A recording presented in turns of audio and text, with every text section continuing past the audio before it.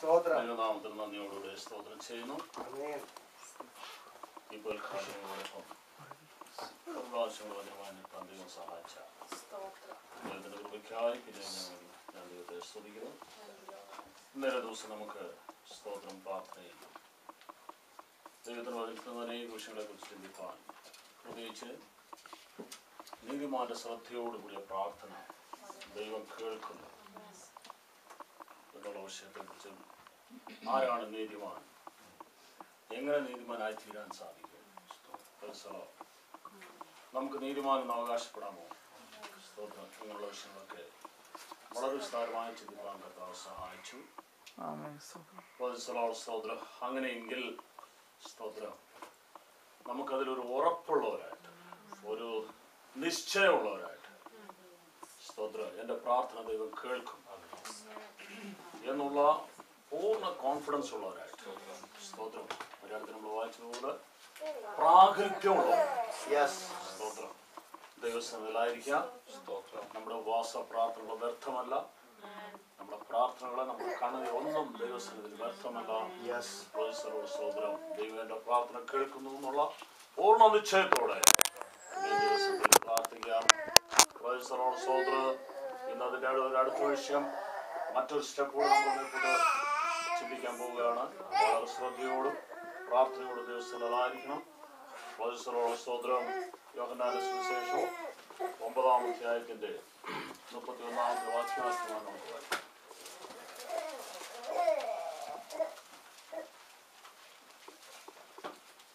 യോഹന്നാൻ ഒമ്പതിന്റെ മുപ്പത്തൊന്ന് പാപികളുടെ പ്രാർത്ഥന. ദൈവം കേൾക്കുന്നില്ല. പാപികളുടെ പ്രാർത്ഥന ദൈവം കേൾക്കുന്നില്ല. എന്നും ദൈവഭക്തനായിരുന്ന അവന്റെ ഇഷ്ടം ചെയ്യുന്നവന്റെ പ്രാർത്ഥന ദൈവഭക്തനായിരുന്ന അവന്റെ ഇഷ്ടം ചെയ്യുന്നവന്റെ പ്രാർത്ഥന. പ്രാർത്ഥന കേൾക്കുന്നു. എന്ന് നാം അറിയുന്നു. ദൈവം കേൾക്കുന്നു എന്ന് നാം അറിയുന്നു. അറിയുന്നു. അപ്പൊ ഒരു പാപിയുടെ പ്രാർത്ഥന ഒരിക്കലും ദൈവം കേൾക്കുന്നില്ല. സ്തോത്രം. അതാണ് ഇന്നലെ ഞാൻ പറഞ്ഞത് സ്തോത്രം നാമതയ സഭകൾ പഠിപ്പിക്കുന്നത്. അവരുടെ സ്തോത്രം കർമാചാരങ്ങളെല്ലാം ചെയ്തതിനു ശേഷം നാമതയ സഭ എന്ന് പറഞ്ഞിട്ടുള്ളവർ പലരും ഉണ്ടെന്ന് എനിക്കറിയാം. സ്തോത്രം ലാസ്റ്റ് ഞാൻ കേട്ടിട്ടുള്ളത് വായിച്ചിട്ടുള്ളതും അവർ കുർബാന കുർബാനയെല്ലാം കഴിഞ്ഞേച്ച് അച്ഛൻ ലാസ്റ്റ് പറയുന്നത് പ്രാർത്ഥിക്കണമെന്നെല്ലാം ആശീർവദിച്ച് പറഞ്ഞു. നിങ്ങൾ അവർക്ക് വേണ്ടി പ്രാർത്ഥിക്കും. പിന്നെ ലാസ്റ്റ് പറയുന്നത് ഭാവിയായ എനിക്ക് വേണ്ടിയും പ്രാർത്ഥിക്കുകയും അപ്പൊ ഈ കുർബാനയും ശുശ്രൂഷ എല്ലാം നടത്തിയതാരാ Lord. നിങ്ങൾക്ക് മനസ്സിലായില്ലേ ഞാൻ പറഞ്ഞു അങ്ങനെയെങ്കിൽ ആ പാപികളുടെ കയ്യിൽ നിന്ന് വിടുതൽ പ്രാപിച്ചതിനായി ദൈവത്തിന് സ്വതം ആ സമ്പ്രദായത്തിൽ നിന്ന് ആ പാപ ബന്ധനങ്ങളിൽ നിന്ന് വിടുതൽ പ്രാപിച്ചതിനായിട്ട് ദൈവത്തിന് സ്വാതന്ത്ര്യം ചെയ്യണം. വിശുദ്ധന്മാരെ ചുമക്കൊണ്ട് നടന്നു. വിശുദ്ധന്മാരെ ആരാധിച്ചുകൊണ്ട് നടന്നു. ഇപ്പൊ മനസ്സിലായ അതെല്ലാം the ഇപ്പൊ മനസ്സിലായ ആരാ വിശുദ്ധനം. അല്ലേ? വിശുദ്ധനെന്നും പറഞ്ഞുകൊണ്ട് ഫോട്ടോയിലും മറ്റും വിഗ്രഹങ്ങളൊക്കെ കണ്ട വ്യക്തികളൊക്കെ ഇവൻ വിശുദ്ധനാണ് ഇവർ വിശുദ്ധനാണ് ഇവർ വിശുദ്ധനാണ് ഇവർ വിശുദ്ധരാണ് പറഞ്ഞ് അവരെയൊക്കെ ഒരു കാലത്ത് പോഹിക്കൊണ്ട് നടന്നു. എഴുന്നള്ളിക്കൊണ്ട് ഇപ്പൊ മനസ്സിലായ അതെല്ലാം വെറും ഡ്യൂപ്ലിക്കേറ്റ് ആയിരുന്നു. വാസ്തവത്തിൽ വിശുദ്ധനാരാ? സ്തോത്രം. ആരാണ് വാസ്തവത്തിൽ വിശുദ്ധൻ? സ്തോത്രം. നിശ്ചയമില്ല. അങ്ങനെയെങ്കിൽ അതാണ്. നമ്മളാണ് ദൈവസ്ഥലത്തിൽ വിശുദ്ധൻ സംശയമുണ്ടോ? എബ്രാഹിം മൂന്നാമത്തെ ഒന്നാം വാക്യം നിങ്ങൾ ഞാൻ ഒരു കാര്യം ഇതിനിടയ്ക്ക് പറഞ്ഞുകൊണ്ട് ഞാനൊരു ഉണർവ് പ്രസംഗമല്ല എന്റെ പ്രസംഗത്തിൽ അങ്ങ് വലിയ ഉണ്ടാവുന്നു എനിക്ക് പ്രതീക്ഷയില്ല പക്ഷേ ഞാൻ പ്രസംഗിക്കുന്ന വിഷയങ്ങൾ എന്തെങ്കിലും നിങ്ങളുടെ മനസ്സിൽ നിൽക്കണമെന്ന് എനിക്ക് നിങ്ങൾക്കതൊരു ഒരിക്കലും ഒരു സംശയത്തിന് കാരണമായി ഞാൻ ആരാന്ന് ആദ്യം എനിക്ക് നമ്മൾ ഇന്നലെ ഇന്നലെ രാവിലെ ഞാൻ ആദ്യം സ്റ്റാർട്ടിങ് തന്നെ പറഞ്ഞല്ലോ. ഞാൻ ആരാന്ന് ആദ്യം ഞാൻ അറിയണം. പിന്നെ എന്റെ ദൈവം ആരാന്ന് ഞാൻ അറിയണം. എന്റെ ദൈവം ആരാന്ന്. പറഞ്ഞത് ഞാൻ യേശുവിനെ എനിക്ക് അറിയണം. അപ്പൊ യേശുവിനെ അറിയണം. Yes. ഞാൻ ആരാന്നറിയണം Praise God. അങ്ങനെയെങ്കിൽ സ്തോത്രം. ഇവിടെ നമ്മൾ വായിച്ചില്ല പാപികളുടെ പ്രാർത്ഥന ദൈവം കേൾക്കുന്നില്ല. സ്തോത്രം. എബ്രാഹിം ലേഖനം മൂന്നാം അധ്യായത്തിന് ഒന്നാം വാക്യം. അതുകൊണ്ട് ആ. വിശുദ്ധ Praise the Lord. ഇന്നലെ വായിച്ച സിസ്റ്റർ വന്നില്ലേ? ഓ ഉണ്ടല്ലോ. സ്തോത്രം. ഈ ഞാൻ മലയാളത്തിലായിരിക്കും വാക്കുകളൊക്കെ പറയുന്നത്. എനിക്ക് മലയാളം അറിയത്തില്ല. അതുകൊണ്ട് ഞാൻ മലയാളത്തിൽ വായിക്കാൻ പറ്റത്തില്ല. നിങ്ങൾ എന്നെ വായിച്ച് സഹായിച്ചേ പറ്റത്തുള്ളൂ. ഇച്ചിരി സ്പീഡായിട്ട് ഞാൻ പറയുന്ന വാക്കുകൾ എളുപ്പപ്പെടുത്താൻ സഹായിച്ചാൽ നമുക്ക് വേഗം വേഗം മുന്നോട്ട് പോകാം. ദയവായി എന്നെ സഹായിക്കണം. Praise the Lord. സ്തോത്രം. എബ്രാഹിം മൂന്നാം അധ്യായത്തിന് ഒന്നാം വാക്യം. അതുകൊണ്ട് വിശുദ്ധ സഹോദരന്മാരെ അതുകൊണ്ട് വിശുദ്ധ സഹോദരന്മാരെ സ്വർഗീയ വിളിക്ക് സ്വർഗീയ വിളിക്ക് ഓഹരിക്കാരായവരെ നാം സ്വീകരിച്ചു മതി. നമ്മുടെ വിഷയം ആദ്യത്തെ സെന്റൻസിൽ തന്നെയുണ്ട്. എബ്രായലു എബ്രായിൽ ഉള്ള വിശുദ്ധ സഹോദരന്മാരെ എന്ന് പൗലോസ് ആരെയാണ് വിളിച്ചത്? ആരെയാണ്. ആരെയാ വിളിച്ചത്? അവിടെ ചില വിശുദ്ധന്മാരും പറഞ്ഞ അഭിഷേകം പ്രാപിച്ച അല്ലെങ്കിൽ കൈവപ്പ് കിട്ടിയ ചിലരെയാണോ വിളിച്ചത്? സ്തോത്രം അല്ല എബ്രായ ആ സഭയിലുണ്ടായിരുന്ന വിശ്വാസിയുടെ സ്തോത്രം ആ സഭയിൽ ഉണ്ടായിരുന്ന വിശ്വാസികളെയാ വിളിച്ചത്. അതുകൊണ്ട് വിശുദ്ധന്മാരായ സഹോദരന്മാരെ നിങ്ങളിന്റെ എല്ലാ വാക്യം വായിക്കാൻ പറ്റത്തില്ലല്ലോ. കൊരിന്ത്യ ലേഖനം എഫേസ്യ ലേഖനം ഫിലിപ്പിയ ലേഖനം ഗലാത്യ ലേഖനം എല്ലാ ലേഖനങ്ങളും എടുത്ത് വായിച്ചോ. പൗലോസ് പറയുന്നത് കൊലോസിയിലുള്ള വിശുദ്ധന്മാരായ സഹോദരന്മാർക്ക് എഴുതുന്നത്. ഫിലിപ്പയിലുള്ള വിശുദ്ധന്മാരായ സഹോദരന്മാർക്ക് എഴുതുന്നത് സഭയ്ക്ക് എഴുതുന്നത് അപ്പൊ ആരെയാണ് ഈ വിശുദ്ധന്മാർ വിശുദ്ധന്മാരെന്ന് പൗലോസ് ഉദ്ദേശിക്കുന്നത്? സ്തോത്രം. നിങ്ങൾ ആ സംശയം നിങ്ങൾക്ക് ഇനിയും മനസ്സിൽ എന്തെങ്കിലും ഡൗട്ട് ഉണ്ടെങ്കിൽ അത് ഇന്ന് ക്ലിയർ ചെയ്യണം. എന്നിട്ട് പോകാൻ നേരം ഞാൻ ആരാന്നൊന്ന് തീരുമാനിച്ചോണ്ട് വേണം ഇവിടുന്ന് പോകാൻ. അന്യഭാഷയും പറഞ്ഞ ഇതുവരെ ഞാൻ ആരാന്ന് അറിയത്തില്ല എന്ന് പറഞ്ഞാൽ വലിയ തമാശ കേട്ടോ.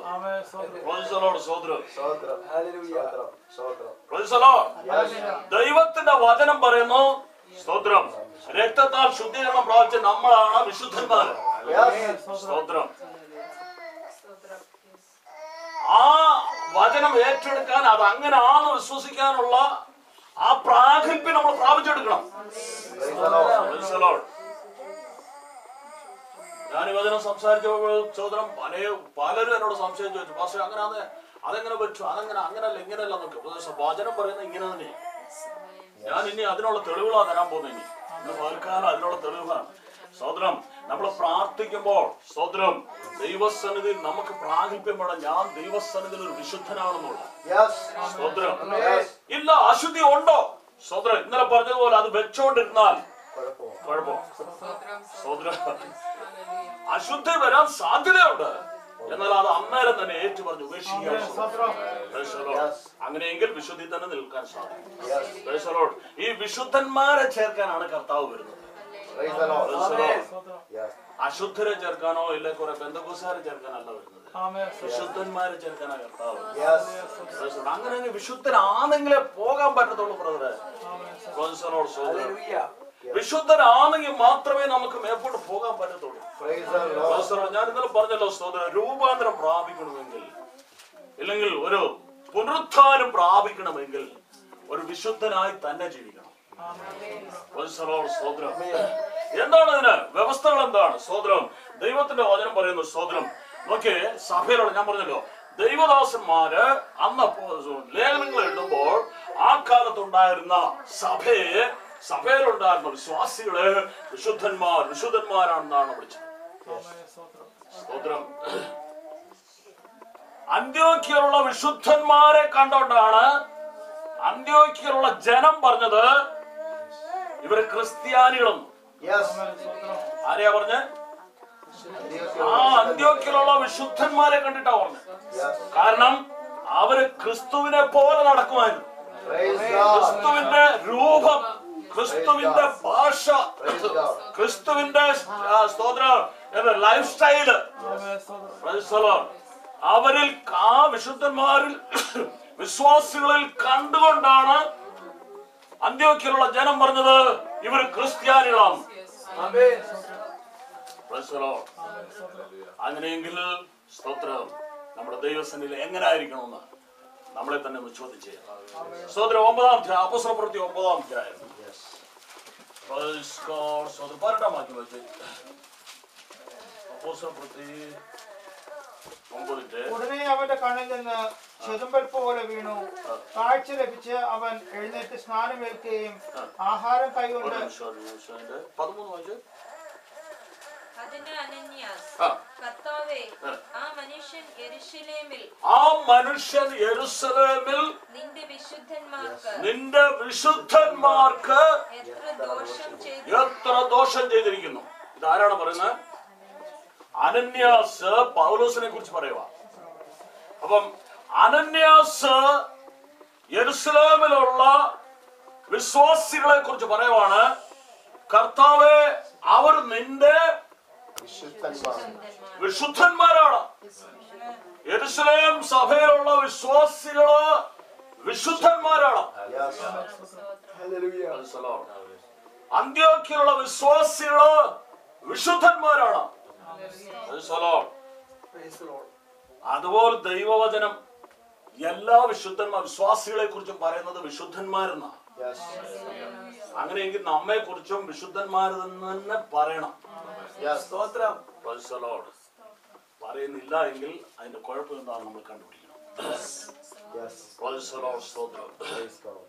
നമുക്ക് ആ ആ ഒരു ഇതിലേക്ക് വന്നെങ്കിൽ സ്തോത്രം. ആ ഒരു സ്റ്റാൻഡേർഡിലേക്ക് വന്നെങ്കിൽ മാത്രമേ നമ്മൾ സ്തോത്രം ഇത് അംഗീകരിക്കാൻ നമുക്ക് പ്രയാസം വരാൻ കാരണം പ്രത്യേകിച്ച് നമ്മൾ ആയിരിക്കുന്നതായ ലൊക്കേഷൻ നമ്മൾ പഠിച്ചു വന്നതായ നമ്മുടെ നാടിലെ പരിസ്ഥിതി നമ്മുടെ സഭകളുടെ പരിസ്ഥിതി ഇത് ഇതുകൊണ്ടൊക്കെ ഇത് വേറെ ആരോ ആണെന്ന് നമ്മളങ്ങ് വിട്ടുകൊടുത്തേക്കോ. പ്രദേശമോ വേറെ ആർക്കോ ഈ സ്ഥാനം വിട്ടുകൊടുത്തേച്ച് പിന്നെ നമ്മൾ പ്രൊഫസറോട് സ്വതന്ത്രം വിശ്വാസിയാണോ? ആണോ? അല്ലയോ? എന്ന് സംശയിച്ച് ഇങ്ങനെ പോകുന്നതായ പരിസ്ഥിതി. അതൊരിക്കലും ശരിയല്ല. ഒരിക്കലും ശരിയല്ല. അങ്ങനെയുള്ളവരെയാണ് കഥ പറഞ്ഞ മാനസാന്തരപ്പെടുകയും Yes. ക്രൈസ്തലോട് വെളിപ്പാട് പുസ്തകത്തിൽ വളരെ ഏഴ് സഭയോടും പറയുന്നു മാനസാന്തരപ്പെട്ട നിന്റെ ആദ്യത്തെ പ്രവൃത്തിയിലേക്ക് മാനസാന്തരം മാനസാന്തരം എന്ന് പറയുന്നതിന്റെ കാരണം അതാണ്. സ്വോത്രം ഒരു സ്വോത്രം നമുക്ക് ആ സ്ഥിതിയിലേക്ക് ആ പരിസ്ഥിതിയിലേക്ക് ആ വിശുദ്ധിയിലേക്ക് മടങ്ങി വരാൻ കഴിഞ്ഞില്ലെങ്കിൽ പ്രൈസറോട് വളരെ കഷ്ടമാണ്. അതുകൊണ്ട് സ്തോത്രം പ്രിയ ദൈവമക്കളെ നമ്മൾ കർത്താവിന്റെ വരവിനെയൊക്കെ അങ്ങ് വളരെ ആ, എന്തുവാ ധൃതിയോട് അതിനെ എതിർനോക്കുന്നവരും ആമേൻ. കർത്താവായ യേശുവേ. സ്തോത്രം. വാസ്തവത്തിലാന്ന് പറയുന്നത് വാസ്തവാന്ന് പറയുന്നത് സ്തോത്രം. ചുമ്മാ തന്നെ പിന്നെ പറയാതിരിക്കുക. പറയുവാന്ന് പിന്നെ അതിന് റെഡി അയച്ചേ പറയാം. പരിസരോട് സ്തോത്രം. അപ്പൊ കർത്താവ് സഹോദരം നമുക്ക് സഹോദരം വചനം പറഞ്ഞു വിശുദ്ധന്മാർക്ക് വേണ്ടിയാണ് പക്ഷെ റെഡിയാകാത്ത നമ്മൾ ചുമ്പാതെ വിളിച്ചു അർത്ഥമില്ലാത്ത പ്രാർത്ഥന കൊണ്ടൊന്നും പ്രയോജനമില്ല. സഹോദരൻ നമ്മുടെ പറയും നമ്മുടെ വായിൽ ഹൃദയത്തിന്റെ ധ്യാനവും വായിലെ വാക്കുകളും. ദൈവത്തിന് പ്രസാദമായിരിക്കും ആമേൻ കർത്താവ് യേശുവെന്ന് പറഞ്ഞാൽ അതേ കർത്താവ് ഞാൻ റെഡിയായിരിക്കുന്നോടാ പറയുന്നുള്ള. ആ അതാണ്. ഞാൻ വിളിച്ചാലൊന്നും. പോരത്തില്ല പിന്നെ പറയുന്നതന്നെ. അപ്പൊ പലരുടെയും ക്രിസ്തീയ ജീവിതം. സ്തോത്രം. വേറെ ആരാണ്ടെയോ ബോധിപ്പിക്കുക. സ്തോത്രം. അച്ചാച്ചനെ ബോധിപ്പിക്കുക ഇല്ലെ അമ്മാമ്മയെ ബോധിപ്പിക്കുക ഇല്ലെ മക്കളെ ബോധിപ്പിക്കുക ഇല്ലെ പാസ്റ്ററെ ബോധിപ്പിക്കുക സ്തോത്രം. പ്രിയ ദൈവമക്കളെ ആ പ്രാഗൽഭ്യത്തോട് തന്നെ പറയണം. സ്തോത്ര. ഇന്നലെ നമ്മൾ വായിച്ചില്ല പ്രാഗൽഭ്യത്തെ കുറിച്ച് ഒത്തിരി വാക്കുകൾ നമ്മൾ വായിച്ചില്ല. സ്തോത്രം. ആ സ്ഥിരതയും ആ നിശ്ചയം ദൈവമക്കൾക്ക് വേണം. സ്തോത്രം. നമ്മൾ ഈ ഈ പുസ്തകം ചുമ്മിക്കൊണ്ട് നടക്കുകയും ഇതിൽ നിന്ന് പ്രസംഗിക്കുകയും ഇതിൽ നിന്ന് വായിക്കുകയും ഒക്കെ ചെയ്യുകയും ഇതിന് യോഗ്യരല്ലാതെ ജീവിക്കുകയും ചെയ്താൽ എങ്ങനെ ദൈവം സഹിക്കും. നമ്മളെ കുറിച്ച് ദൈവം ദുഃഖിക്കുകയല്ലേ? സ്തോത്രം ഞാൻ പറയുന്നത് സ്തോത്രം ഞാൻ സ്തോത്രം അങ്ങ് അങ്ങ് പരിശുദ്ധനാണോ എന്ന് ചോദിച്ചാൽ നമ്മൾ മനുഷ്യരാണ്. സ്തോത്രം ജഡത്തിലാണ് വസിക്കുന്നത്. നമ്മൾ മണ്ണാണ്. Lord. കർത്താവിന് ദൈവോധനം പറയുന്നു അവൻ നമ്മുടെ പ്രകൃതി അറിയുന്നു. നമ്മൾ പൊടിയാണ്. മണ്ണിൽ നിന്നാണ് നമ്മളെ എടുത്തിരിക്കുന്നത്. Praise സ്വദ്രം എന്നാൽ സ്വദ്രം നമ്മുടെ പ്രകൃതി അറിയുന്നതായ ദൈവം നമുക്ക് സ്വയം നിൽപ്പാൻ കഴിയത്തില്ലെന്ന് ദൈവത്തിന് അറിയാം. അതുകൊണ്ടാണ് ദൈവം തന്റെ ആത്മാവിന് നമുക്ക് സഹായകനായിട്ട് അയച്ചു തന്നിരിക്കുന്നത്. സ്തോത്രം. ആ ആത്മാവിനെ വെളി നിർത്തി വെച്ച് നമ്മൾ നമ്മുടെ ഇഷ്ടത്തിന് പ്രകാരം ജീവിക്കുക എന്ന വിശുദ്ധനായി ജീവിക്കാൻ കഴിയത്തില്ല. സ്വദ്രം ആ കൊണ്ട് ഏൽപ്പിച്ചോൾ ആത്മാവ് നമ്മളെ കൊണ്ടുപോക്കോളൂ. ആ ആത്മാവ് നമ്മളെ സകല വിഷയത്തിലും സത്യത്തിൽ നടത്തുമെന്ന് വചനം പറയുന്നു. എന്തുകൊണ്ട് സാധിക്കത്തില്ല? ആത്മാവിന് കീഴ്പ്പെടുക. അതുകൊണ്ട് സ്തോത്രം വിശുദ്ധിയുടെ ആ പാതയിലേക്ക് നമ്മൾ വരേണ്ടത് അത്യാവശ്യമാണ്. പഴയ നിയമത്തിൽ സ്തോത്രം ഒത്തിരി സാധനങ്ങൾ നമ്മൾ വിശുദ്ധമാണ് വിശുദ്ധമാണ് വിശുദ്ധമാണെന്നൊക്കെ നമ്മൾ വായിക്കാറുണ്ട്. വസ്തുക്കൾ വിശുദ്ധം പാത്രങ്ങൾ വിശുദ്ധം പ്രദേശത്തോട് സ്തോത്ര സ്ഥലങ്ങൾ വിശുദ്ധം. അങ്ങനെ പലതിനെയും നമ്മൾ വിശുദ്ധമായിട്ട് കാണാൻ സാധിക്കും.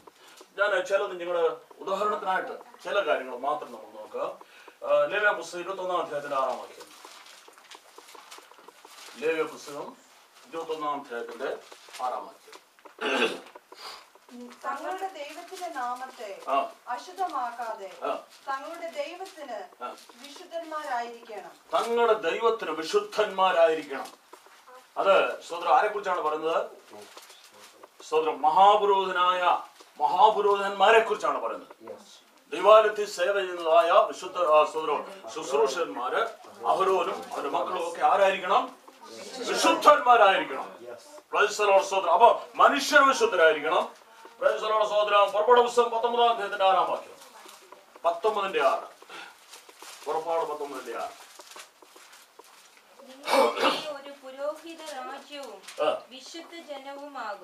അപ്പൊ ജനം ആരായിരിക്കും? വിശുദ്ധ ജനമായിരിക്കും. ദൈവത്തിന്റെ ജനം. ഇസ്രായേലിനെ കുറിച്ച് പറയുന്നത് ആ ജനം ദൈവത്തിന് വിശുദ്ധ ജനമായിരിക്കും. the പുറപ്പാട് ഇരുപത്തി ആറാം അധ്യായം മുപ്പത്തിമൂന്നാം വാക്യം. ഇരുപത്തി ആറിന് മുപ്പത്തിമൂന്ന് Praise God. Hallelujah. ഇരുപത്തിയാറിന് മുപ്പത്തിമൂന്ന് കൊളുത്തുകളിൽ തിരശീല തൂക്കി. സാക്ഷ്യപ്പെട്ടകം തിരശീലയ്ക്കകത്ത് കൊണ്ടുചെന്ന് വെക്കണം. തിരശീല വിശുദ്ധ സ്ഥലവും തിരശ്ശീല വിശുദ്ധ സ്ഥലവും അത് വിശുദ്ധ സ്ഥലവും തമ്മിൽ വേർതിരിക്കുന്നതായി ക്രൈസ്തവരുടെ അതിവിശുദ്ധ സ്ഥലവും തമ്മിൽ വേർതിരിക്കുന്നതായിരിക്കും അപ്പൊ വിശുദ്ധ സ്ഥലവും ഉണ്ട് അതിവിശുദ്ധ സ്ഥലവും ഉണ്ട് ഒരു വാക്യം കൂടെ നോക്ക്. സ്തോത്രം. സംഖ്യാപുസ്തകം അഞ്ചാം അദ്ദേഹത്തിന്റെ പതിനേഴാം വാക്യം.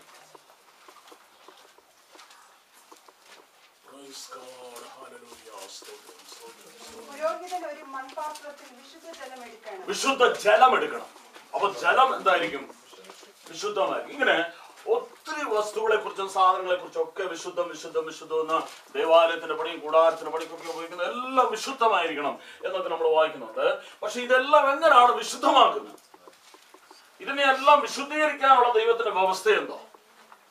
എബ്രാഹിം അത് വളരെ ചുരുക്കമായി പറഞ്ഞിട്ടുണ്ട്. എബ്രാഹിം ഒമ്പതാം അധ്യായത്തിന്റെ ഇരുപത്തിരണ്ടാം വാക്യം വെച്ചു. എബ്രാഹിം ഒമ്പതാം അധ്യായത്തിന്റെ ഇരുപത്തി ഒന്ന് ഇരുപത്തിരണ്ട്. ന്യായപ്രമാണ പ്രകാരം ഏകദേശം സകലതും രക്തത്താൽ ശുദ്ധീകരിക്കപ്പെടുന്നു. രക്തം ചൊരിഞ്ഞിട്ടല്ലാതെ വിമോചനമില്ല.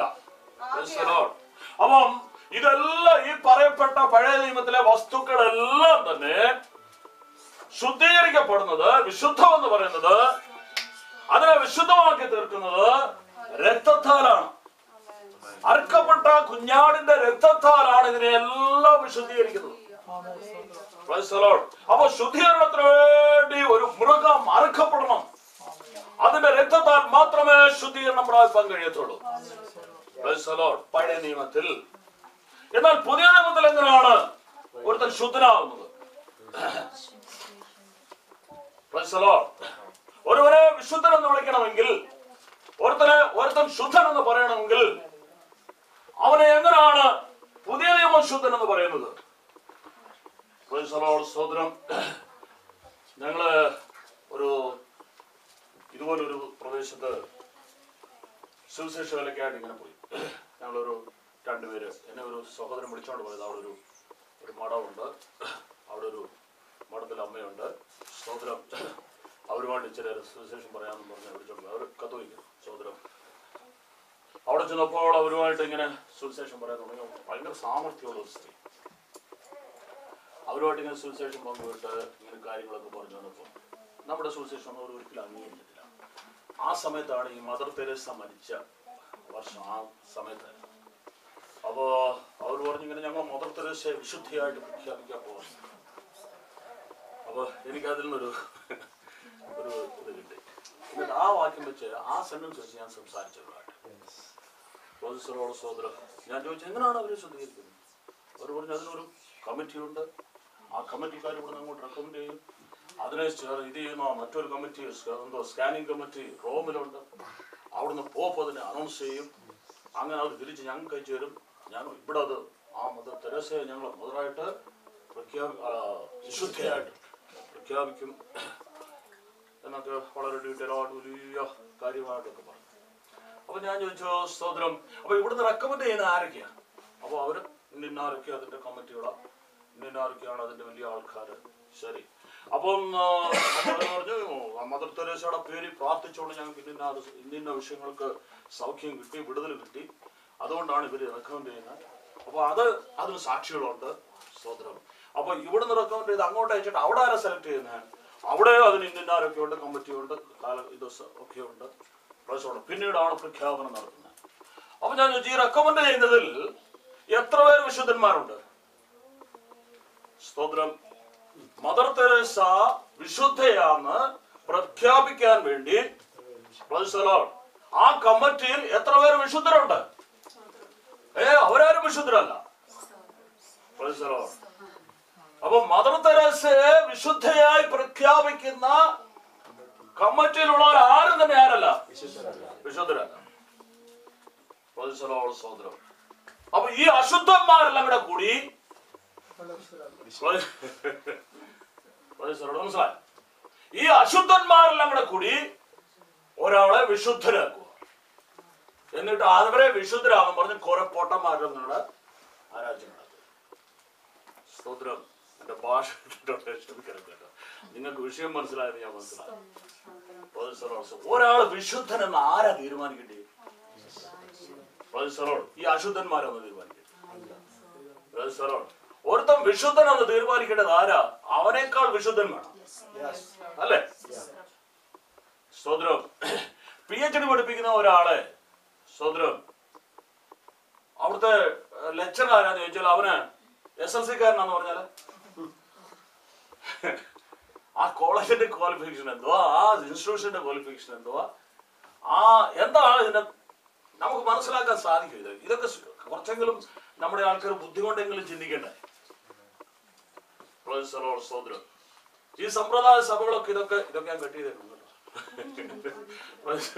ഈ സമ്പ്രദായ സഭകളൊക്കെ ഇതൊക്കെ ഒന്ന് ചിന്തിക്കട്ടെ നമ്മുടെ ബന്ധുക്കാർ നമ്മുടെ റിലേഷൻസ് ഒക്കെ. നമ്മൾ ഈ രക്ഷിക്കപ്പെട്ടതിനും സ്ഥാനപ്പെട്ടതിനും ഒക്കെ ഒരു ഭയങ്കര ബഹളവും വലിയ പ്രശ്നങ്ങളൊക്കെ ഉണ്ടാക്കിയവര് ഇതൊക്കെ ഒന്ന് ചിന്തിക്കണ്ടേ. ഒരാളെ വിശുദ്ധനാക്കുന്ന ആരാ? സ്വന്തം അദ്ദേഹത്തെ കാട്ടി വിശുദ്ധനായിരിക്കണ്ടേ അവർ. എന്നെ വിശുദ്ധനാക്കുന്നത് എന്നെ വിശുദ്ധന എന്ന് പറയണമെങ്കിൽ അവൻ എന്നെക്കാൾ എത്രയോ വിശുദ്ധനായിരിക്കണം. Praise കുറച്ചുകൂടെ ചിന്തിച്ചു നോക്ക്. സ്തോത്രം. മനുഷ്യരുടെ മുമ്പ് ഞാനൊരു വിശുദ്ധനായിട്ട് കിടക്കാം. പക്ഷെ എന്റെ രഹസ്യ ജീവനം അറിയുന്നവനാരുണ്ട്. അങ്ങനെയെങ്കിൽ എന്നെ വിശുദ്ധൻ എന്ന് വിളിക്കണമെങ്കിൽ അദ്ദേഹം സർവശക്തനായിരിക്കണം. സർവജ്ഞാനിയായിരിക്കണം. സർവവ്യാപിയായിരിക്കണം. എങ്കിൽ മാത്രമേ ഒരു മനുഷ്യനെ വിശുദ്ധനല്ല വിശുദ്ധളെന്ന് പറയാൻ പറ്റത്തുള്ളൂ. Praise the Lord. Praise the Lord. ദൈവനാമത്തിന് നന്ദിയോടുകൂടെ സ്തോത്രം ചെയ്യും. പ്രിയ ദൈവമക്കളെ ദൈവവചനത്തിന്റെ സത്യങ്ങളെ മനസ്സിലാക്കാനുള്ള കൃപ. കൊരന്തലേഖത്തിൽ പൗലോസ് പറയുന്നു നമുക്കോ ദൈവത്തിന്റെ ആത്മാവ് സകലതും വെളിപ്പെടുത്തി തന്നിരിക്കും Yes. സ്തോത്രം. വായിച്ചേ. ഒന്ന് വരുന്ന രണ്ടാമത്തെ അതിന്റെ പത്താം വാക്യം. നമുക്കോ ദൈവം തന്റെ ആത്മാവിനാൽ വെളിപ്പെടുത്തിയിരിക്കുന്നു. ആത്മാവ് സകലത്തെയും ദൈവത്തിന്റെ ആഴങ്ങളെയും ആരായുന്നു. ഇത് നമ്മുടെ ബുദ്ധി കൊണ്ടല്ല. നമ്മുടെ ജ്ഞാനം കൊണ്ടല്ല. ഇതൊക്കെ തന്നെ ദൈവത്തിന്റെ ആത്മാവ് ഈ സത്യങ്ങളെ നമുക്ക് വെളിപ്പെടുത്തിയിരിക്കുന്നു. ആത്മാവോ സകലത്തെയും സകലത്തെ സകലത്തെയും. ദൈവത്തിന്റെ ആഴങ്ങളെയും ദൈവത്തിന്റെ ആഴങ്ങളെയും Lord. സ്വർഗീയമായ കാര്യങ്ങൾ. സ്വർഗസ്ഥനായ ദൈവത്തിന്റെ ആ മനോഹരത്വം അതിന്റെ മഹിമ അവിടുത്തെ സത്യങ്ങളെല്ലാം ദൈവത്തിന്റെ ആത്മാവ് നമുക്ക് വെളിപ്പെടുത്തി തന്നിരിക്കുക. അതുകൊണ്ട് നമ്മൾ ഈ സ്വപ്നലോകത്തല്ല സങ്കല്പ ലോകത്തല്ല ദൈവത്തെ ആരാധിക്കേണ്ടത്. നമ്മുടെ ദൈവം ഒരു സങ്കല്പ വസ്തുവായി തീരരുത് കാരണം ദൈവത്തിന്റെ ആത്മാവ് അതെല്ലാം നമ്മുടെ ബുദ്ധിക്ക് മനസ്സിലാകുന്ന രീതിയിൽ നമുക്ക് വെളിപ്പെടുത്തി തന്നിരിക്കുക. ഇനി ഇതൊന്നും എനിക്ക് അറിയത്തില്ലെന്ന് പറയരുത്. സ്തോത്രം. അങ്ങനെയാണെങ്കിൽ മറ്റുള്ളവരോ?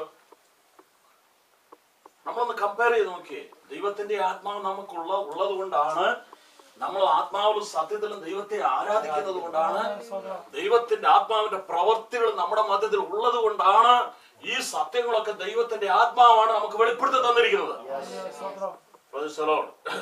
പിന്നെ ആത്മാവില്ലാത്തവരോ സ്തോത്രം. ആത്മാവില്ലാത്തവരോ ആത്മാവിനെ അംഗീകരിക്കാത്തവരോ? അവർ ബുദ്ധി കൊണ്ട് ചിലതൊക്കെ കാട്ടിക്കൂട്ടി വെച്ചിട്ടുണ്ട്. സ്തോത്രം. അവർ തങ്ങളുടെ ബുദ്ധി കൊണ്ട് ചിലതൊക്കെ കാട്ടിക്കൂട്ടി വെച്ചിട്ടുണ്ട്. ആത്മാവില്ലാത്തവർ അതിനെ പിൻപറ്റുന്നു. അവർക്കത് മനസ്സിലാവുന്നില്ല. ആരെയാ ബോധിപ്പിക്കുന്നത് ആർക്ക് വേണ്ടിയാ ജീവിക്കുന്നത് ആരെയാ ആരാധിക്കുന്നത് ഇങ്ങനെ ഒഴിച്ചുവിടുന്നതൊന്നും അവർ ചിന്തിക്കാനേ പോകത്തില്ല.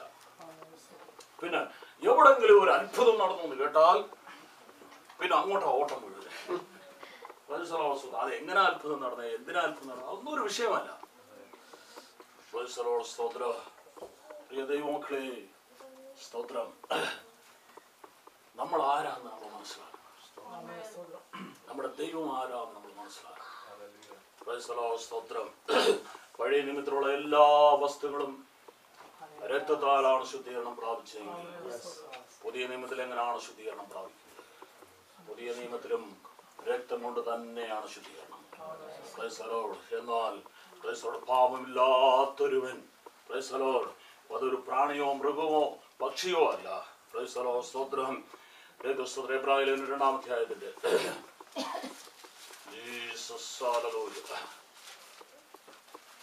പതിനാലാം വാക്യം. എബ്രാഹിം രണ്ടിന്റെ പതിനാല്. മക്കൾ ജഡരക്തങ്ങളോട് കൂടിയവർ ആകുകൊണ്ട് മക്കൾ ജഡരക്തങ്ങളോട് കൂടിയ ഒരാക കൊണ്ട് അവനും അവരെ പോലെ അവനും അവരെ പോലെ ജഡരക്തങ്ങളോട് ജഡരക്തങ്ങളോട് കൂടിയവനായി. കൂടിയവനായി. മരണത്തിന്റെ അധികാരിയായ മരണത്തിന്റെ അധികാരിയായ പിശാചിനെ ആ തന്റെ മരണത്താൽ നീക്കി. തന്റെ മരണത്താൽ നീക്കി. ജീവപര്യന്തം. ജീവപര്യന്തം. മരണഭീതിയാൽ. മരണഭീതിയാൽ. അടിമകളായിരുന്നവരെ. അടിമകളായിരുന്നവരെ. വിടുവിച്ചു. മക്കൾ ജഡരക്തങ്ങളോട് കൂടിയവരായിരിക്കാൻ അവനും അവരെ പോലെ ജഡരക്തങ്ങളോട് കൂടി ജഡരക്തങ്ങളോട് കൂടിയവനായി തീർന്നു. എന്ന് വെച്ചാൽ മനുഷ്യനായി തീർന്നു. യെസ് കൊലസ്സലേഖനത്തിലൊക്കെ വായിക്കുന്നുണ്ടവൻ ആരാന്ന്? സ്തോത്രം. ദൈവത്തോട് സമനായിരുന്നവൻ. ദൈവമായിരുന്നവൻ. അവൻ ജഡരക്തം ധരിച്ച് നമുക്ക് വേണ്ടി താണിറങ്ങി വന്നത്. എന്തുകൊണ്ട്? രക്ഷിക്കേണ്ടത് ആരെയാണ്? രക്ഷിക്കേണ്ടത് ആരെയാണ്? മനുഷ്യരെ. ആയതുകൊണ്ട് ജഡരക്തങ്ങളുള്ള മനുഷ്യനെ ആയതുകൊണ്ട്. അവനും അവരെ പോലെ ആയിത്തീർന്നു. മനുഷ്യനായി തീർന്ന്. നമ്മളെ രക്ഷിക്കാൻ നമ്മുടെ രക്ഷയ്ക്കായി നമ്മുടെ വിമോചനത്തിനായി. സഹോദരം അവൻ ജഡരക്തധാരിയായി തീർന്നു. അപ്പോൾ ശുദ്ധീകരണം. സഹോദരം സോദരം മൃഗങ്ങളെയും കൊണ്ടല്ല പ്രാണികളെ കൊണ്ടല്ല വസ്തുക്കളെ കൊണ്ടല്ല രക്തം കൊണ്ട് തന്നെയാണ്. ഒന്നേ യോഹന്നാൻ ഒന്നാം അധ്യായത്തിൽ ഏഴാം വാക്യം. അവൻ വെളിച്ചത്തിൽ ഇരിക്കുന്നത് പോലെ നാം വെളിച്ചത്തിൽ അവൻ വെളിച്ചത്തിൽ ഇരിക്കുന്നത് പോലെ. നാം വെളിച്ചത്തിൽ നടക്കുന്നവനെങ്കിൽ നമുക്ക് നമുക്ക് തമ്മിൽ കൂട്ടായ്മയുണ്ട്. അവന്റെ പുത്രനായ. യേശുവിന്റെ രക്തം അവന്റെ പുത്രനായ യേശു യേശുവിന്റെ രക്തം സകല പാപവും പോക്കി സകല പാപവും പോക്കി നമ്മെ ശുദ്ധീകരിക്കുന്നു. ശുദ്ധീകരണം കൈവെപ്പിനാലല്ല കൈമുത്തുന്നതിനാലും അല്ല അഥവാ ശുദ്ധീകരണം വേറെ യാതൊരു കർമാചാരങ്ങളിൽ നിന്നല്ല. ശുദ്ധീകരണത്തിനായി വേറെ യാതൊരു പുണ്യപ്രവൃത്തിയും ചെയ്യണ്ട. ശുദ്ധീകരണം എങ്ങനെയാണ് നടക്കുന്നത്? യേശുവിന്റെ. നമ്മുടെ ശുദ്ധീകരണം യേശുവിന്റെ രക്തദാനം. ഇന്നലെ നമ്മൾ ചിന്തിച്ചതുപോലെ അവൻ കാൽ ഒരു ക്രൂസിൽ മരിച്ചത് എനിക്ക് വേണ്ടിയെന്ന് നമ്മൾ സമ്മതിച്ചാൽ നമ്മൾ വിശ്വസിച്ചാൽ നമ്മൾ അത് ഏറ്റെടുത്താൽ എനിക്ക് വേണ്ടി മരിച്ചു എന്റെ പാപം നിന്ന് എനിക്ക് വിടുതൽ നീ തകർക്കപ്പെട്ടു. നിന്റെ രക്തത്താൽ എന്നെ വീണ്ടെടുത്തു. എന്നുള്ള ആ സുവിശേഷ സത്യത്തെ ഏറ്റെടുക്കുന്നുവെങ്കിൽ Lord.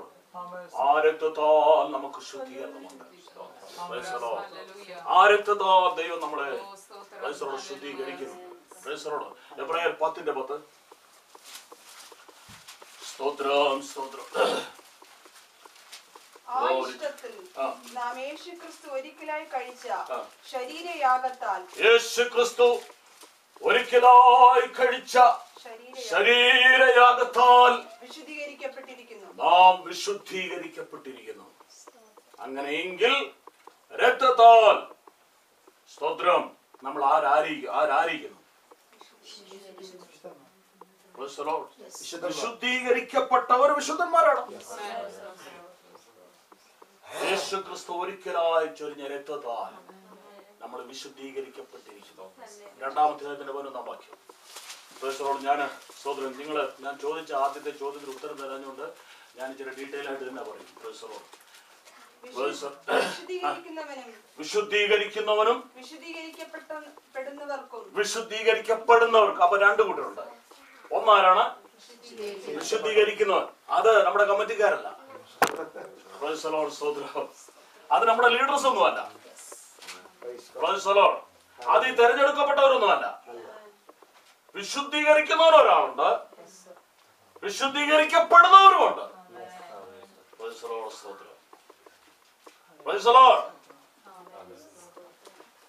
അപ്പൊ വിശുദ്ധീകരിക്കുന്നവർ ആരാണ് പരിശുദ്ധനായ ദൈവമാണ്. വിശുദ്ധീകരിക്കപ്പെടുന്നവരോ ആരെ ഏൽപ്പിച്ചു കൊടുക്കുന്നു? വായിച്ചു